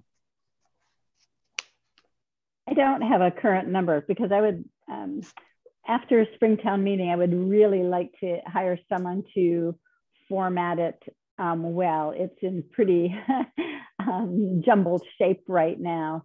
Um, I am guessing, you know, it, it could take a bit, even, even the back end of it, which doesn't need to be voted on, but the references and all of that should really be cleaned up. And I, and I would I'd be happy to put out a proposal and get a price for it, but that's something um, that I can have in my under my budget, I believe. I think I can't imagine that's a reason for us not to do it. No, it's not a reason to do it. no, I was just trying to get the whole picture of the, you know, that make sure we have all this in place. I'm gonna just, um, with your permission, Ron, just share one more thing. Um, this is uh, an example if you haven't um, yet been to the site, the way we decided to format these. So they have an article number with a name of the general intent and then some notes about things. they vary. Um, and then the sort of the beginning of an article and then the proposed language and then the existing language. Um, the formatting, I just literally cut and pasted stuff, so don't worry too much about the formatting. And um, so there's uh, one of those for, eh, so you can see um, there's, they're labeled planning board sections one through four, adult entertainment and so forth. Here's the, um, down here, can you see my cursor? This is the zoning changes with town meeting changes and there's Bobrowski's memo as well as the um, zoning changes from Mark Bobrowski dated December 8th, 2020 with the highlights that may be incomplete as Mary has indicated, but at least it's, it's what we had to work with. So hopefully that's helpful and I'll stop talking. Okay, Ron, thanks. Ron, could I ask my final uh, stormwater question? Yes. Um, listening to the December 13th meeting, I think Sarah noted that she had gotten some new stormwater regulations from Chuck Dam. Are those out on SharePoint? I'll send them. I'll put them in the um in this folder. Okay, Use great. The same format. I'll put them as a. I'll number them for stormwater, and at least we at least start with that. Um, it's a little bit not straightforward, I think, but yeah, somebody can okay. look at how to do that. Great. I and haven't then, spent any time on it. Okay. Um, and then I saw you added floodplain, but I think we still have to add earth removal to the list. Okay. All right, um, thanks. Listen, I'd like to um, bump the um, Peter Goodrow uh, item up now because I see a lot of people waiting. We can uh, this we can do the planners report and the subcommittee in minutes after. So uh, I'd like to move them up now. Um, on Friday, January 7th, I received a phone call from Peter Goodrow requesting a few minutes of our time to discuss an important opportunity for the town and the planning board to consider. So I granted Peter and attorney Mark Glovsky this, this slot of time to present to you their proposal. And uh, who needs control of the screen? Or do you want me to put up the slides? Or do you not want to put up the slide? I, I don't think we need slides at this point. Uh, okay. Go ahead, Mark. Um, good evening. Uh, I'm Mark Glovsky. Uh, Peter and I have been working with cell signaling technology for a couple of years in an effort to uh, help the company find a proper location for expansion on the North Shore. And uh, it's been a thorough search uh, and exhaustive search. Uh, cell signaling uh, is a life science company which was founded by Manchester resident Michael Comb. That has facilities in Beverly, Danvers, and employees around the world, about 500 employees. Uh, a couple of years ago, we started the process, and uh, at the moment, uh, cell signaling is, is focused on expanding its facility on Trask uh, Road in Beverly. Uh, but uh, Michael Comb has always had a fondness for Manchester as a resident and uh, the former uh, gravel quarry behind the Manchester Athletic Club uh, is a site that is particularly appealing to him because of it being an opportunity to actually reclaim a, a piece of property that has been stripped and denuded. Uh, it is uh, properly located. It is uh, 40 plus acres. It is in the limited commercial district, as you all know, uh, but we think that it would be an appropriate uh, piece of property for cell signaling's expansion and ultimately a campus for cell signaling. Uh, consequently, after months of negotiation, cell signaling entered into an agreement to acquire the 40 acres. And the agreement, unfortunately, is contingent on our obtaining or obtaining necessary uh, zoning changes, not to uh, permit the project, but to provide an opportunity for an application. Uh, some of you may recall that years ago, I was involved with New England Biolabs uh, on a similar venture uh, on Upper Pine Street. Uh, the town was very receptive. Uh, a zoning change was enacted, which was going to give New England Biolabs the opportunity to apply for a special permit. Uh, but ultimately, uh, for, for multiple reasons, that project didn't move forward. Essentially, what we're asking for now is for the town to consider similar zoning uh, for that section of the limited commercial district that includes this 40 acre parcel. Uh, in addition to that, as described in an overview that hopefully you all received today, uh, we're hoping that we could encourage the town to adopt some additional dimensional changes that would enable an appropriate building for cell signaling's expansion. Uh, after hearing Sarah Creighton's presentation, uh, I'm feeling extremely guilty uh, that we're uh, dropping this on you at the last minute, but uh, we couldn't control the timing. And uh, we are willing to do whatever may be necessary to assist you in the process. We think that uh, it would ultimately be a wonderful opportunity both for cell signaling in the town of Manchester. Uh, we've outlined the scope of the project in the overview, so I'm not going to rehash that. But at this point, under the circumstances, I think if possible, it would be helpful if you could designate a representative or subcommittee, if you would consider this, uh, to meet with us to draft a proposed article for changes to the zoning uh, in the uh, L LCD district. Um, with me tonight are obviously Peter Gordeau and other representatives from cell signaling, including I think I saw Chris Comb. Uh, we'd be happy to answer any questions, but we didn't anticipate that this introduction was going to be necessarily project specific, getting into detail. We just wanted to uh, encourage you to consider working with us to creating to create the opportunity uh, for the door to be open so that we can move forward. Uh, if the zoning change does not happen at the Springtown meeting, unfortunately, uh, we would perhaps lose the opportunity. Our agreement is contingent on the zoning change happening uh, in the spring.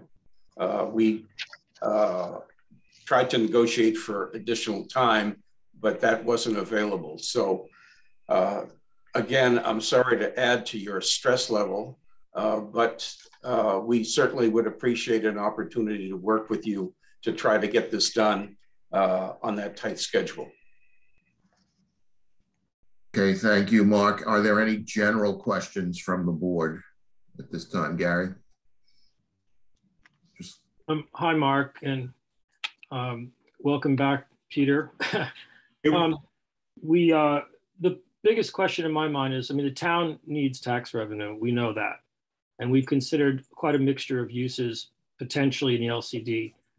Do you have? Um, I assume this is a phased project, and do you have any handle on the kind of tax revenue that this would generate, or what would phase one potentially generate? Uh, we would anticipate that uh, phase one, uh, which would probably uh, be approximately 125,000 square feet of space uh, with a obviously improved site, would probably generate close to half a million dollars a year in real estate taxes. Okay. But that's, it, it's hard to it's hard to pin that number down because we don't know exactly uh, how much space is going to be developed and uh, what the costs are going to be. Okay, I'll just mention a number of points. We don't have to go into them tonight, but just just say, um, in general, this sounds like a potentially great thing for the town. There's no impact on the schools, which a lot of people um, like, maybe not everybody, but there's no housing component, which some people like. Um, but um, what would you be anticipating wanting to um, have water usage from the town and what sort of uh, volumes would that be? We know we have surplus capacity, but it would be nice to know how much you would project and if you would uh, want to tie in. It's also sewage. And, um, and then beyond that, um, I would like to bend over backwards to not put this on the desk of Sue Brown to have to work out all the details.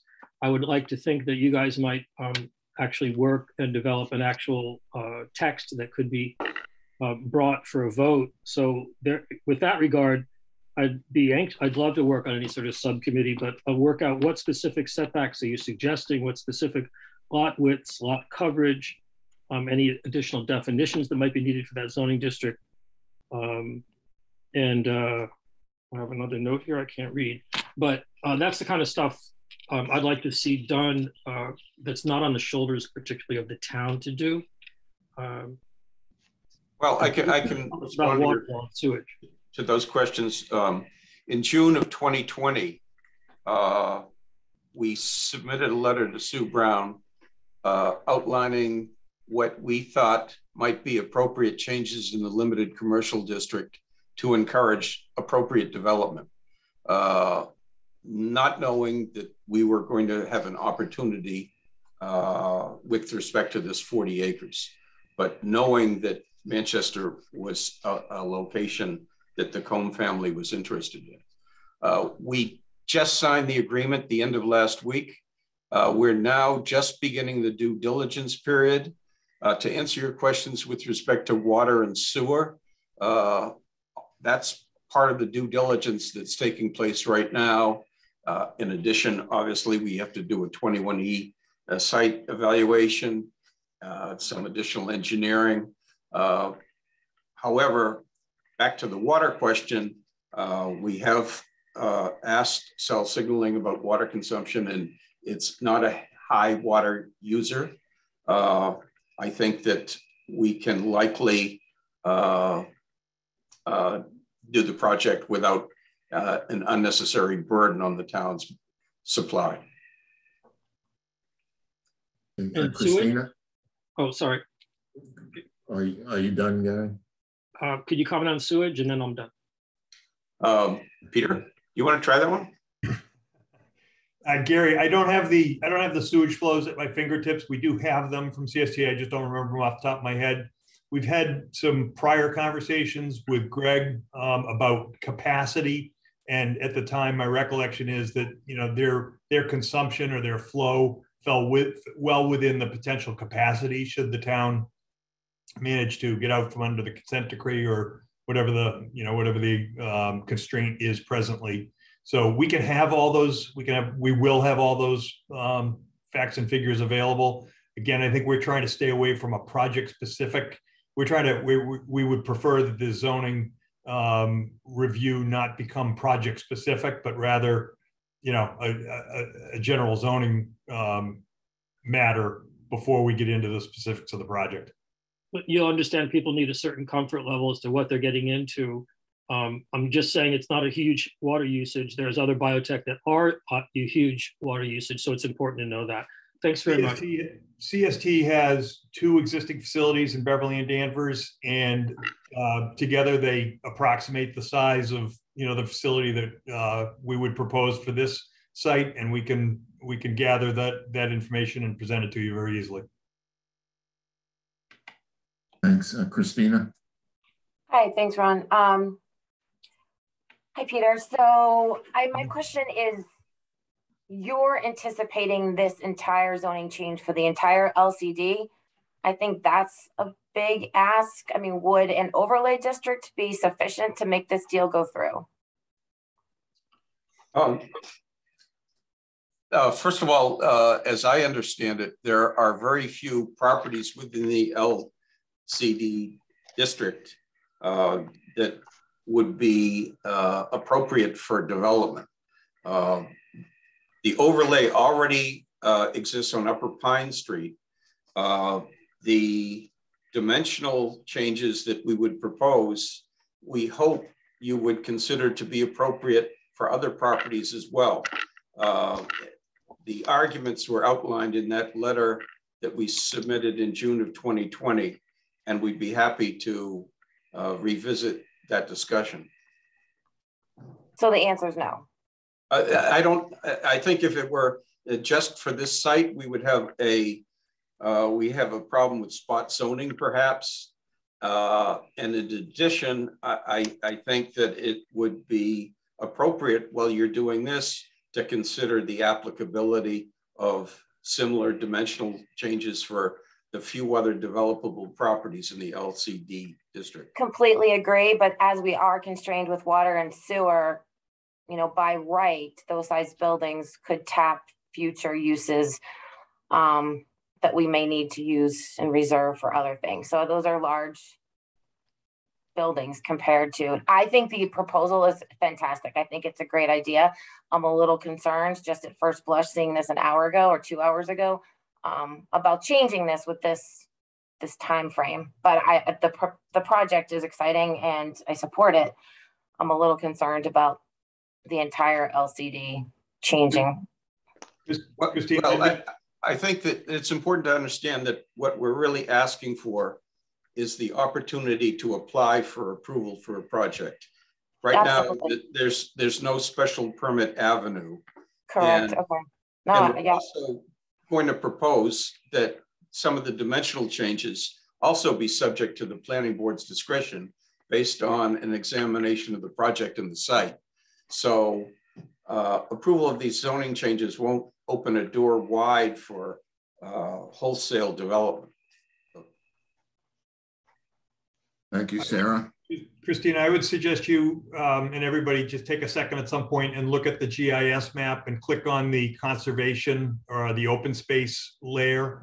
There is, not to repeat what Mark said, but there is very, very little of the LCD which isn't constrained from development. Thank you. Uh, Sarah? You're on mute. Uh, my comments are thank you for coming. I think that this um, is an interesting um, proposal that is consistent with what we've been hearing people say they want and that we may want to we've been thinking about the lcd and not and pushing it down the road a little bit.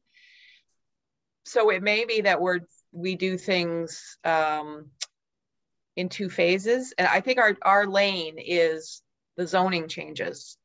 And then any owner in the lcd could come forward with proposals this one or if this one falls through some other one that um, might be proposed in the LCD. And that's where we have to focus. What is the what are the zoning changes? And it does seem to me that setbacks and height and perhaps uh, density lot coverage are already things we were had identified as things that we wanted to do and that the they should apply to the whole district or the, the um, to avoid the spot zoning problem and the allowed uses if we were to um, uh, allow certain uses if some of them are debatable we can modify you know this is, can be an, a little bit of an iterative process once we address the requests that are before us of setbacks height and special permit. Um, so I, I think this is a great opportunity. I think we should just focus our attention on uh, the allowed uses and the special permit um, process and any regulations. And um, full disclosure, when I was looking at the Mark Bobrowski changes today uh, for section six for review, special permit review, I thought, oh, those that that new language is much stronger than our old language. and that's why I added it to the list. So I think that, that if you go look at that I think it's uh, the number 11 of our changes. And then you say, oh, well, if we were to uh, propose those for the LCD, um, at least in part, they strengthen what we have there. And um, it's a starting point. So I, I think this is doable and I think we should move forward within keeping it as one of the top things on that timeline. Thanks, Sarah, I'm Mary. Thanks. Um, kind of uh, along the same lines as Sarah and Christine, um, when I was reading this, I did have questions about the, the bylaw changes and for the entirety of the LCD um, in that area. So to Sarah's point, it seems like the allowed uses would need to narrow down to commercial uses for if we're going to grant that, that height variance and um, setbacks and things like that. So all things to be discussed, but I, I think this would sounds like a great opportunity for Manchester. Okay, great. Thank you, Mary. Any other comments from the board? I do, Ron. Chris, sorry. Uh, so uh, my question is, uh, has to do with the 40 acres. I don't think you need 40 acres to build this building. So there's going to be quite a bit of land left over. And I'm wondering whether uh, you would envision some additional uses on the leftover pieces of the property or on neighboring properties. Uh, uh, as, as I mentioned, the uh, Comb family is uh, interested in preserving land and uh, not looking to develop any more of the 40 acres that needs to be developed to do the project. Uh, we recognize that the, the 40 acres is uh, abutting conservation land. So one of the things that uh, would be uh, provided for would be access to the conservation land and maybe even parking for access to the conservation land. Uh, uh, the uh, a, building of 125,000 feet uh, is going to require a significant amount of parking. Uh, we don't know at this point whether it be structured parking or, or otherwise, but the, the hope is that, that with the, the additional building height, not only can we get the floors uh, that we need to have proper lab height, but that we can avoid having a larger footprint than we need for the project, um, all in an effort to maintain open space. But the, the site plan review process, the special permit process, will provide the planning board in the town with an opportunity to tell cell signaling or any other uh, entity that wants to develop property in LCD district uh, what its requirements are and what the conditions for development would be. And I think that cell signaling uh, is uh, likely to abide by any reasonable conditions that would address those points that you just raised. Actually, I was going the other direction. There may be some valuable pieces of land left over that aren't worthy of conservation that could be put to another tax generating use that would benefit the town. That, that's possible. Uh, but uh, CST is looking at the site as a uh, location for a campus. and obviously, it's not going to start off with multiple buildings, but but one of the provisions that we want to see in the zoning probably would be that we could have multiple buildings on the site. Uh, and uh, in, the, in the first instance, obviously, we'll uh, do the, the 125,000 square foot building, but there needs to be uh, land reserved for expansion.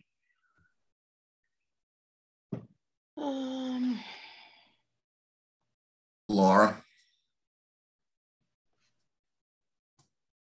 Thank you. I'm um, interested in the proposal. I think there's a lot of uh, good here for Manchester, and the timing of this is actually good, I think, because such um, proposals as increasing the height from 35 to 55 is a nice opportunity to, for us to do sort of a test fit to understand so these dimensions aren't so abstract I really think that the um, 55 height, you know, in addition to allowing the program that we're talking about here for life sciences, does uh, enable more program in a smaller footprint. So less impervious surface, potentially multiple buildings, you know, a, a campus that can grow over time.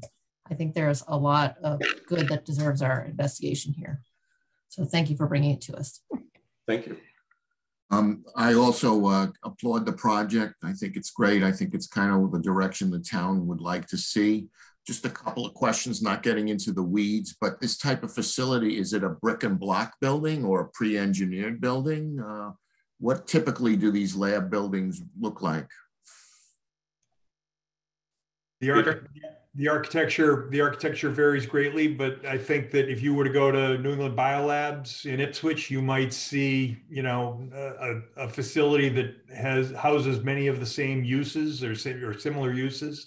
Um, I think that aesthetics um, matter to the Comb family, and I I don't think you'll see a brick and you know, you won't see a block building, you won't see a metal building. You're going to see something that's got architectural integrity and interest in, and a landscaping plan that um, enhances that uh, tremendously. Thank you. And just another question on the 40 acres. And then I saw on the map there were 20 acres. Is the MAC included in, is the MAC staying? Or are you buying that also? Or is, uh, is it, are you in in concert, with the MAC I, I think, still... I think on, on that plan, what you saw is a 30 acre piece. And that, that 30 acre piece is the piece that John Donovan uh, donated to the trustees of reservations.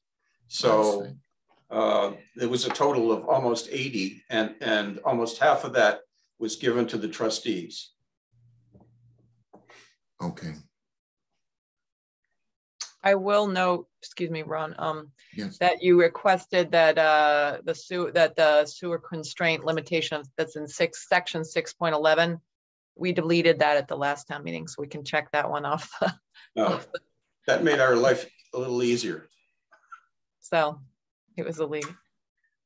It doesn't doesn't guarantee guarantee you access to the sewer. It just that that section's gone. That's a big help. Okay, so uh, without any other uh, comments from the board, um, a, a, path forward. Um, I like the idea of uh, meeting with a couple of board members uh, to kind of track this. Um, what's the feeling of the board on something like that? I'm in favor of that. Um, what's the, what's the time frame suggested? Does Sue Brown have comments on how to proceed? I'll ask her. Sue, any comments?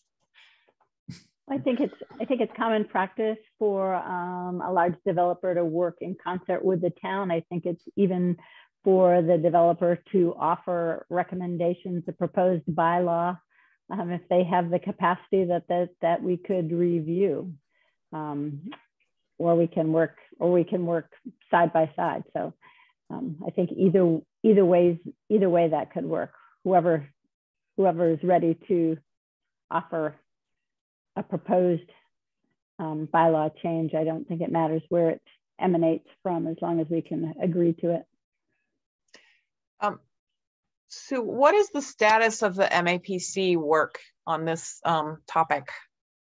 That's a great question, Sarah. I was going to be following up with him on Thursday. So right now, they, he's still moving forward with um, the regulations, um, draft regulations as we had discussed, um, which would, which I had um, informed him to include regulations for um, this type of development as a use and um, and the regulations for it. So if we know a little bit about that, now that we have a little more information, we can kind of put that put that in there. But his was going to also allow other uses as well, which we may still want to do, as we're saying. Um, this is not necessarily um, zoning for this project. It's for what we would like to see up there, um, but it could certainly accommodate this project.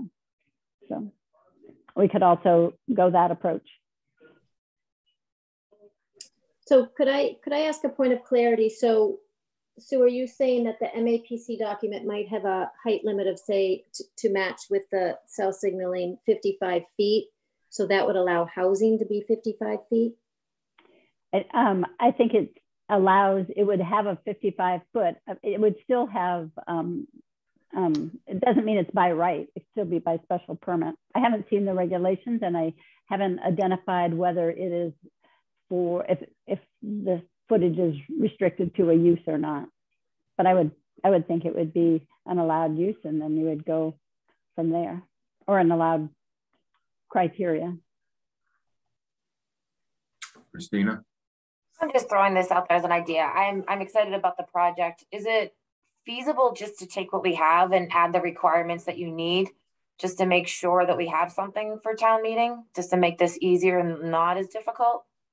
Add your use, add your dimensional requirements, and then revisit in the future. I mean, I think this is a great opportunity and I don't want to lose it if um for better words.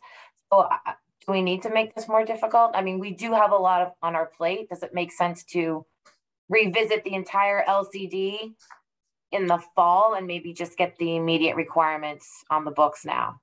Just an idea.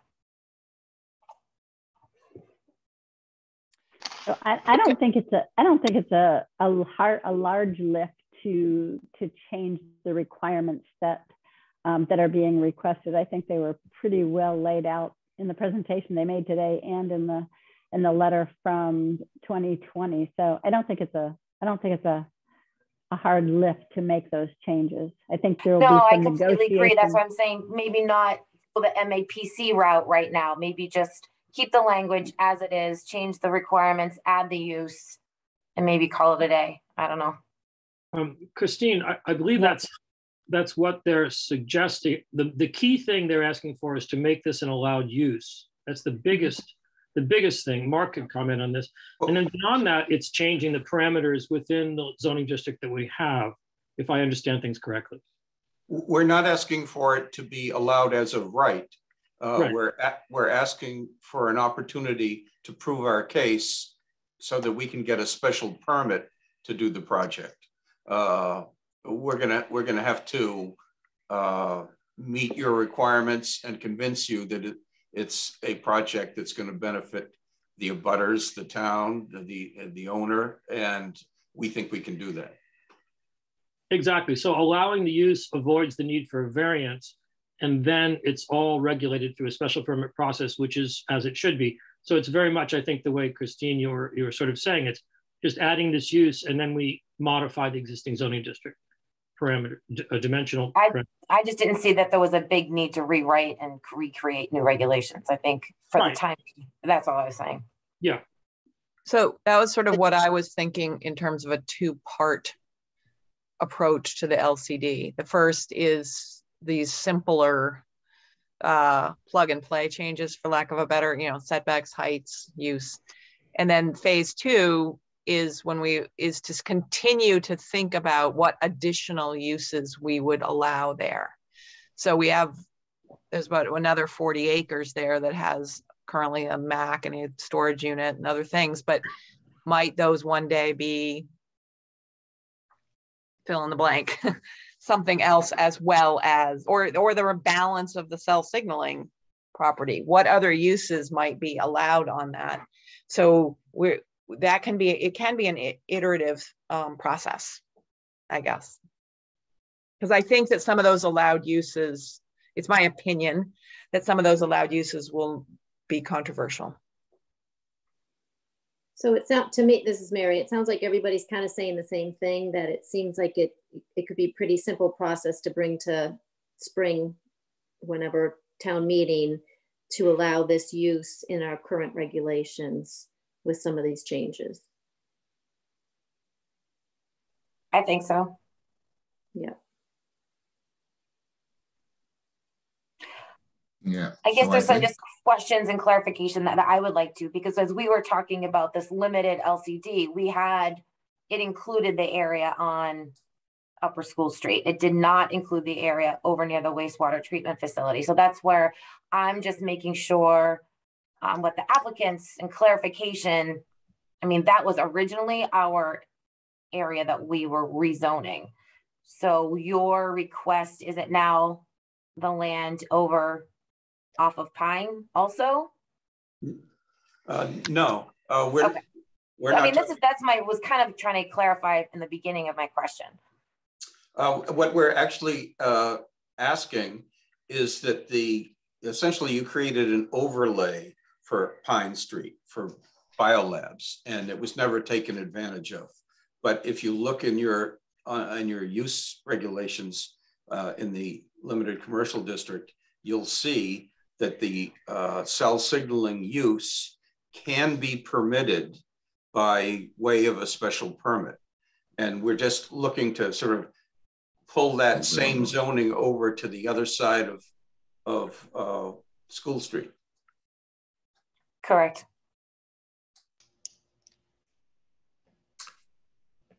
So Okay. could we get a, I mean, if um the Mark and his colleagues are interested in proposing a uh, amendment to the zoning bylaws, then I think that would be something we could, it might be a good starting point, um, and talk about it with, through our process that we just outlined with Mark Bobrowski and potentially MAPC. We may want to go deeper or go uh, more comprehensive or, or whatever, but at least as a starting point, I think that would be, in my mind, would be a useful thing um, to do. I guess at, at this point, we have so much going on in the spring. I think this is a fantastic idea. I don't want to shock the voters and scare this project away. So for me, maybe just to minimal changes to the LCD right now, not to um, to make sure that this happens. So I guess that's that's my comment. I wouldn't want to change the LCD too much to scare the voters to mm, mm, discourage this project. We don't need to do that. Thank you. I think L- LCD was off the table, so I think the minimal changes would be best, in my opinion. Whatever you need to make this project happen, I think, in my opinion, all we should change in the LCD with all the other changes that we were looking to get through in the spring. Not to speak for Mark, but I think we'd be happy to, you know, take a pass at redrafting the various sections that would, um, that would need to be changed to accommodate this. My rate is lower than Mark Bobrowski's. How do we know that? You want to do some recodification help for us, Mark? Okay, Um, well, I think you got a, a real positive response from the board, uh, gentlemen. Um, I- and I like the idea, Peter, of suggesting a rewrite of, of what you would like to see and, uh, get it to us as, uh, And Can I we'll, uh, ju- just ask one follow-up question? Uh, You, you asked moments ago whether the, your board would consider designating a representative to work with us. Is that a possibility?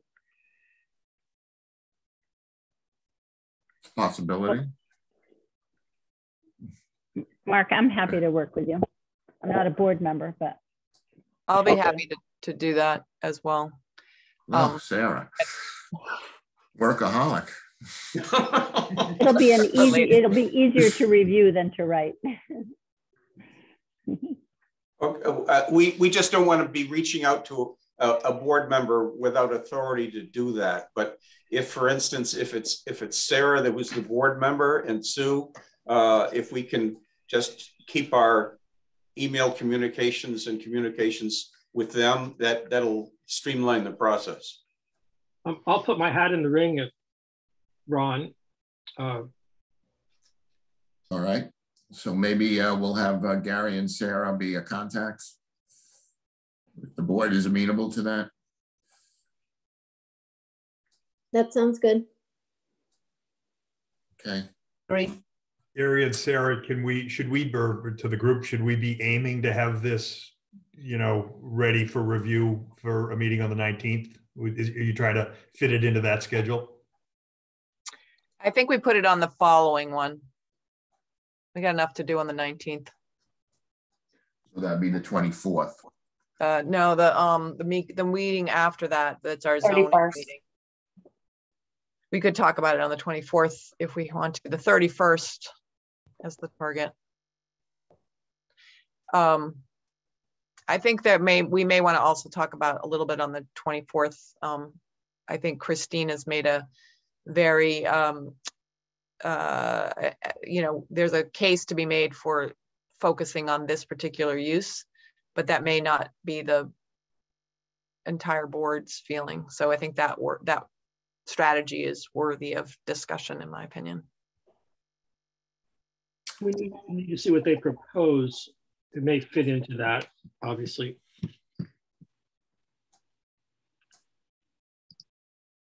So let's let's plan on talking about a little bit on the 24th and the 31st. How is two weeks for you, Peter and Mark?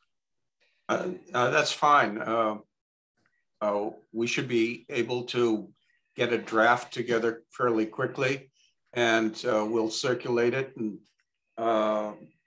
uh, we'll, we'll, be available to get together if need be in advance. But it's it's fine. Again, I apologize for throwing this on on your table at the last minute, but uh, we we didn't know that we had an opportunity until just last week. And Sarah, we should resolve to get anything in writing to the board at least by the Friday before a meeting or the Thursday night before a meeting, so people yeah, can. Definitely.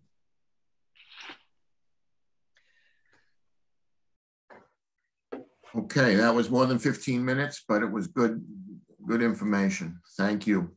Thank you very much for your time. Thank you all. Yeah, great project. Thank you. Thank you. Okay, let's just finish up um, the planner's report. I think we went through most of it, Sue. Any comments on the planner's report? I think it mostly dealt with the uh, blasting, right? You had a few. You're on mute. You. Sorry, I'm just trying to get it in front of me. um, yeah, I don't think there's a lot more to say. Um, we're still working, we're working on the applications for the local rapid recovery grant. Um, but those will take a while to get through, but we hope to have at least one um, application in, I think, by the 19th is our deadline. So. Ron, I had a couple questions. Mary? Um, just to remind that the there were some parking studies posted late um, that you had posted late examples of the MAPC parking studies.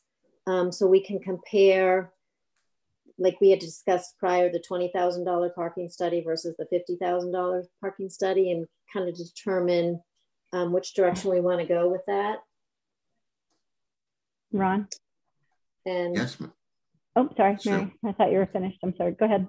Um, and then I wanted to ask um, about the online permitting that kind of fell off the update. And um, if you have any updates on the town dashboard. Uh, so thanks. So first of all, I think that I had shared the parking studies um, previously, and I just want to make sure that neither of those are $20,000 studies. They're both $60,000 studies. Um, and what they do is they compare MAPC produced one of them, and then um, Nygaard produced the other, a well-known parking um, consultant. So um, those are those are available, but neither is a twenty thousand dollar study. Oh, so what that. what would we be getting for twenty thousand? I can't even imagine. Oh, I thought that was what the, the MAPC amount was. MAPC will do it for 20,000 because they will, we will have a grant for that amount. So it would be the same as the $60,000 study. Um, so you're comparing basically just two um, consultant firms.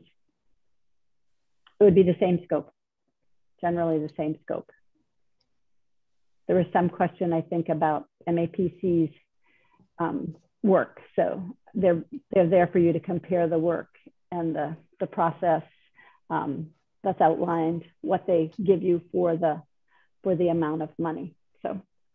So we are we as a board still discussing if we want to go the MAPC route or an independent consultant? Um, no, you're you're welcome to do that, but um, the budget is um, there's only twenty thousand dollars in the budget at this point. Okay. Um, oh, excuse me. I think we voted that issue um, already to, uh, that was in the November, the minutes we were asked to review for today. We voted to approve Sue's budget for 20,000 for a parking study.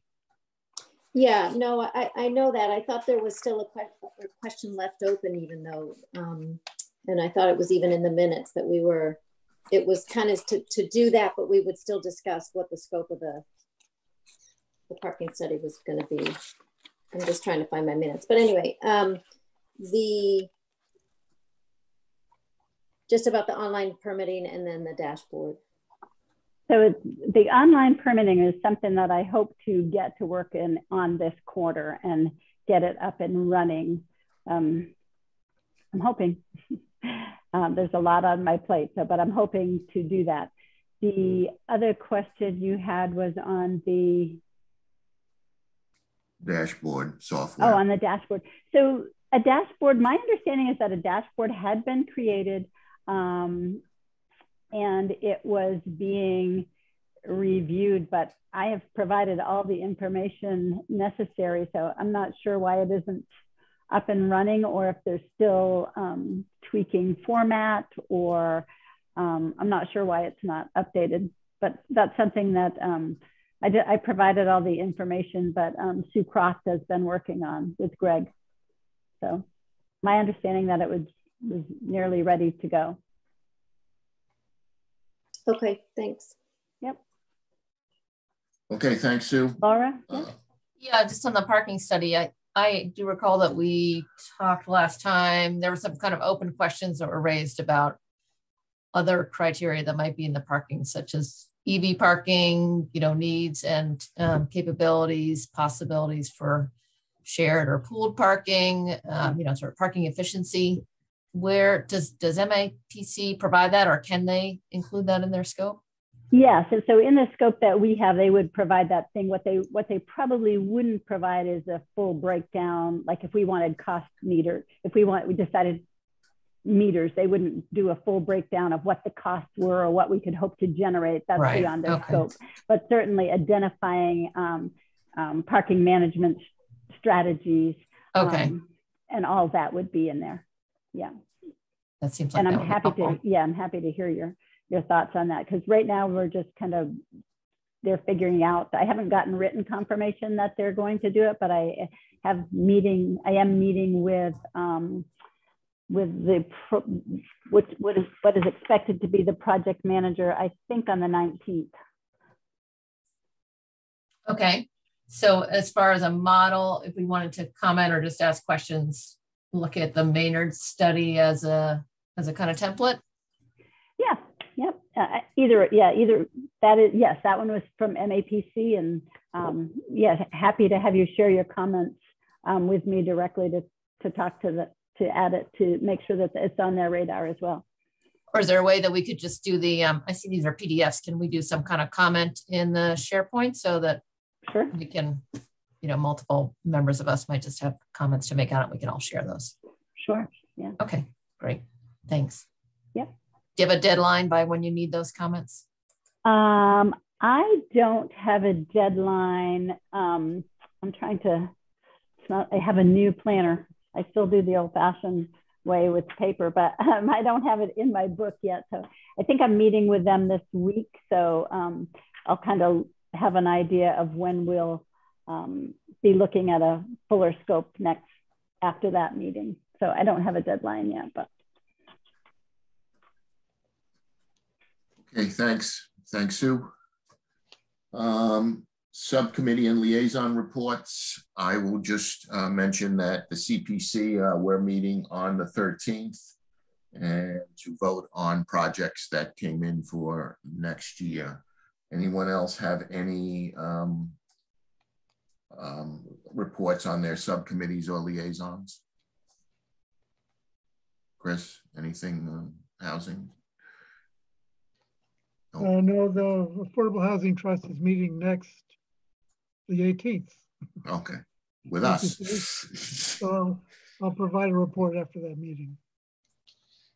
Okay, thank you. Uh, last, I have um, the approval of the minutes for November 22nd. Uh, has that, has that, everyone had a chance to review them and are there any comments? They're not in our folder today, are they? Did they live in a different place? Sorry, They must have been ignorance on this. They were in last, they must be in the, the December uh, folder, I would believe.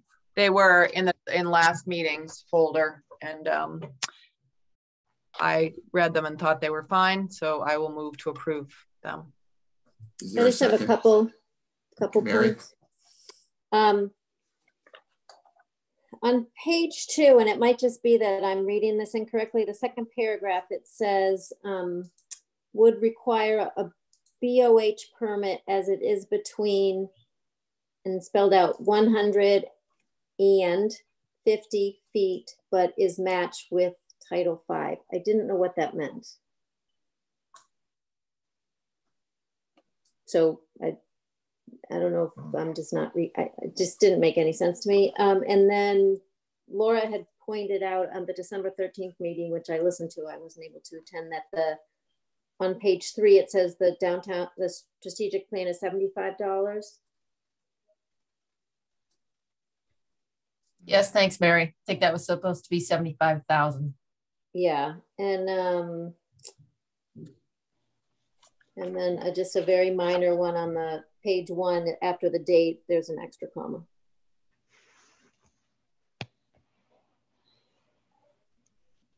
Okay, so Sarah, would you amend your, uh, your um, Yeah, motion to as amended? sure. I'm just wondering what we should do about the, um, that, uh, I'm trying to find it, to the, That sentence, that sentence that's unclear.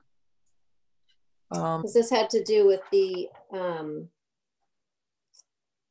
the Summer Street Common Driveway.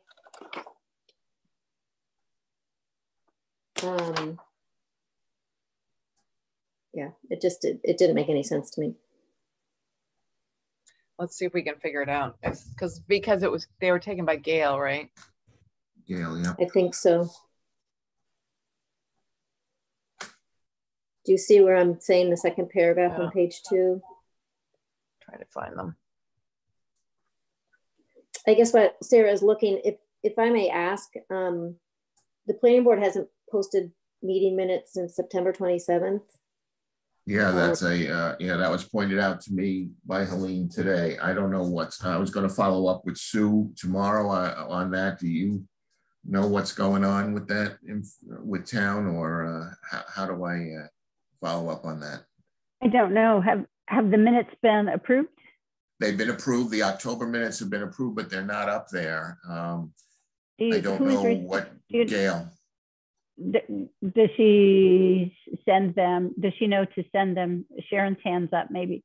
Rather than Sharon. us guessing, Sharon may be able to tell us. Um, I didn't know that she had not put those minutes up yet. I will do that tomorrow first thing. Thank you, Sharon. And Sharon, what about the December 13 minutes? Are they ready for uh, us to look at yet? Um, they will be tomorrow. Okay, thank you. If you could put them on the SharePoint in the uh, meeting folder for the 24th. I will do that. Thank you. And for the recodification, I've done several recodifications and usually town counsel helps out with the rewriting of a lot of the um, of the um, bylaws. Have we reached out to town counsel? Well, we've been uh, using um, Mark Bobrowski. um, Okay, that's a as- good for legal suggestion. advice, But um, we have not involved them to this point. Um, I did ask uh, Greg and Alan Wilson um, about using, about how much time town counsel needed for review of the articles before town meeting, when I asked them for timeframes. But um, why don't, that's a good suggestion. Maybe we could take at least some of them and have them do them and not have to involve Mark. Chris, why don't we look at that list and like some of them, So that, that budget would not be from the 10,000? yeah, probably. Where would that come from? You might, you might want to check with. special- Greg in- We'll check with We- Greg. We need to fill out a form whenever we want to engage town counsel. So um, let me know and I can push that up to the, And maybe we don't save any money. Right. That's right. Um, back on the minutes, I think that the Board of Health permit is um, th- that if we switch the minutes, because did we vote those yet? No. Um, if we switch them to between, if we change the order, it's currently, it's between 150, 100 and 50 feet. If we change it to, I think the issue is, is between 50 and 100 feet of the resource. Um, and it therefore needs a permit. And I'm not sure it's germane to our common driveway. Um, I don't think it's that important for our understanding of the issue, which is ours, which is the common driveway. It was an informal common driveway discussion, so Why don't we just strike it? That's what I was gonna say, just take it out if we Right, don't know. what okay, it is. to take out from however the test for lot one would require a Board of Health permit. Uh, always perc tests require a Board of Health permit.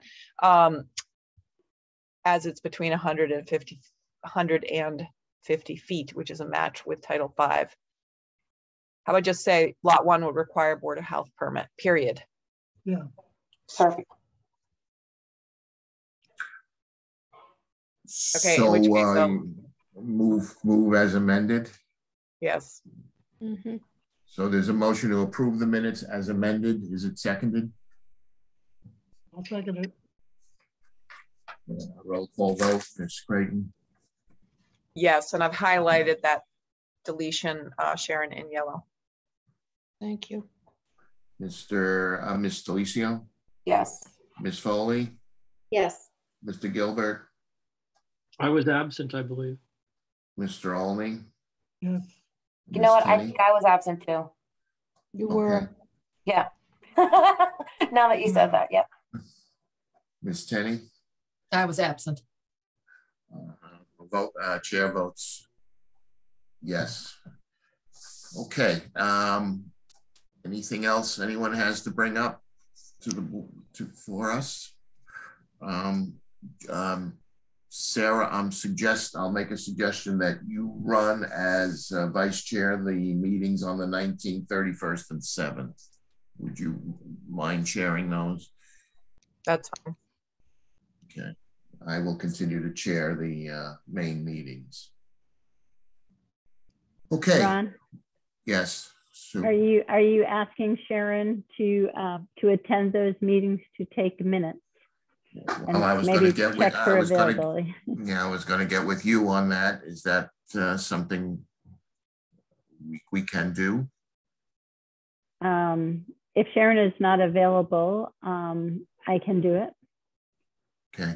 Sharon, are you available on the 19th, 31st, and or February 7th to attend the recodification meetings?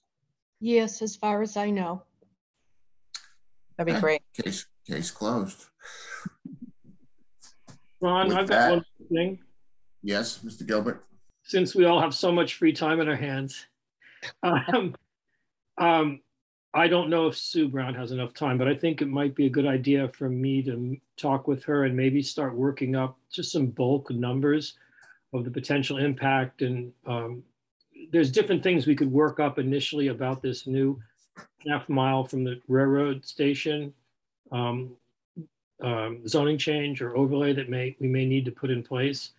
Uh, I think people need to see what you know, examples of what 15 units per acre looks like. You know, how much land is there? How many acres are there? You know, get some get our brains around it a little bit. I mean, we could work on that slowly. Uh, maybe Sue, possibly. We do, we do have to work on it. I don't know if Chris wants to throw his hat in the ring too. I know he's given it some thought. Yeah, my, uh, my view is that until we get those regulations, I think we could comment on regulations would be a good, useful thing to do. But until we have the regulations, we'd just be spinning our wheels, I think. But Gary's idea of, of what are the implication of the proposed regulations would allow us to make a better informed comments on the regulations. So There's some the regulations groundwork. would have this implication and therefore we say, oh, that's not an implication we want. Well, the part of the problem is the regulations are self-contradictory in places. Mm-hmm. So you don't- you're not even sure what you're, what you're designing to. It, it, that's true, Chris, but it would be helpful to know if we have um, 10,000 acres there or how many acres we have. It would be helpful to know because we can draw a half mile circle from the train station. Oh, It'd be sure, helpful we've to know that. how many zoning districts does it touch? What's the existing land uh, building coverage in there? It'd be nice to know some some then- Site analysis you're talking about so, then. so just, just to show you how complicated this is, the zoning district itself doesn't have to be all within a half a mile of the train station. It just, some of it has to be, and some of it can be a mile away, and it doesn't have to be all contiguous either. You can have sort of outlying areas as long as they're within a mile. So it's, you know, it, you're just be kind of spinning your wheels, I think. There, I think general philosophical, you know, discussions about where we could be okaying some sort of multifamily in downtown, maybe that's mm-hmm. useful, yeah. And I think the easy thing to say is, yeah, we'll take the general district and allow multifamily housing in it and maybe extend it out a few places, but I don't know So could I, more we can do. could I tag on to that and ask who, whomever is going to take this over that, that we first get town numbers of um, in, in these certain areas within a half mile, how many multifamily units we currently have? Um, you know, whether we kind of want to cluster in that area to begin with. And I think FinCom really should weigh in on this as well, um, just for some number crunching purposes with schools and um, those impacts. And I think it does merit um, reviewing the um, Housing Choice Ini- Initiative local capital projects and MassWorks grants and see what kind of monies we get or would potentially get from that and see if it, if, if again, if the town really wants to do this. I mean, it's, it's, it's an option. Some of that information can easily be gotten through the assessor's database. Um, as, as to grant money, um, Sue could give us some information on it. I, I think there's some preliminary information we could start to amass. So we get a little bit of our brain. And do we have an example in town of 15 units per acre anywhere? Or what's our densest acre? It'd be not that easy to figure out, but we could poke around. Um, people need to visualize this a little bit. So Newport Park is 38 units on two acres. So that's about, that's a little more than 15 units per acre. Right. But So inter- interestingly, oh, sorry.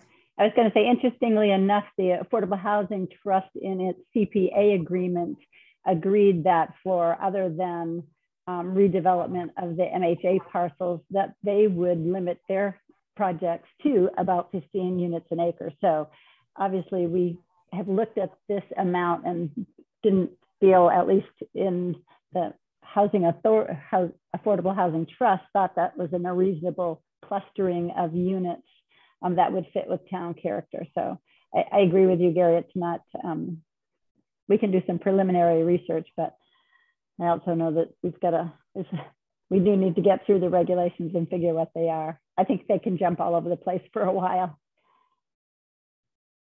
And I don't think that, I don't think the impacts, the potential impacts of what 750 units um, makes any sense to look at because I don't think there's ever gonna, there, there won't ever be that. It's available land, but it won't be redeveloped. Um, exactly. and, and the MBTA isn't, or the legislation doesn't, doesn't really ask you to look at what are those impacts. Um, although for, for, for Mary, if she's say, suggesting that we do that just to see if it's worth it to, um, to go forward with creating it, I, I, I would accept that point. well, I think we do have to consider, I mean, you know, this, this is a developer's dream in the sense that if a property comes on the market within that district and you can put in 15 units, um, they're going to jump at it. So I don't think it's we're going to get to 750, and I don't think we're going to get drastically overnight, but over time, there will be an impact, and I think we have to be cognizant of that. But Mary, you need a one acre to do 15 units, and there aren't that many one acre parcels in the general district. Well, yeah, and that's what I'm not clear about with this law. I mean, it says, you know, by right 15 units per acre, but if somebody owns a half an acre within that area or a quarter of an acre, what does that mean? I don't know. Eight units. Yeah. There are, there are some up this way, uh, Chris, uh, up here in this uh, area on the other side of the tracks. There's a yeah, lot of large the other, the, the other side of the tracks, are you talking about Masconomo Street? Correct. I don't, or think, I don't think we're going to be putting multifamily housing by right on Masconomo Street. Correct. But to Christine, to Mary's point, if, uh, we might not think that was the right thing to do, but if a acre parcel comes up and is in the is in that zone, a developer could come and decide that they're going to do that. We could leave it out. We could leave it out. Create the zone. We create the yeah. zone. It's not going to include Masconomo. Yeah. Right. Well, might, might not. Yeah. Well, it's going to impact some some you know single family residence districts, and I and you know that that changes um, you know what people have bought into. So I mean, I think there's there's many facets to this, and again, I don't think there's going to be 750 units overnight, but um, especially crunching it into the downtown area, there will be impacts. Of course, there will be impacts. Is that that's an absolute given. There will be impacts. It's a question of accommodating it and suggesting perhaps which portions of which zoning districts we'd like to have this bleed into. I mean, obviously, we don't want to see 15 units per acre in, in the Smiths Point area, even though it's within a chunk of it's within half a mile. It's a question of where might our options be. And they talked about a density ratio that there, it would apply to half an acre or whatever lot size you've got. We have a lot of quarter acre and half acre lots in town. Um, but it, we would probably want to uh, mold this into certain districts and certain portions of those districts. And that's what we should start to anticipate. Yeah, I mean, the current regulations say that, you know, unless there's hardship, um, if, if there's hardship, 50% of the the 50 acres or some such thing can be somewhere else, but the bulk of it needs to be within that half mile.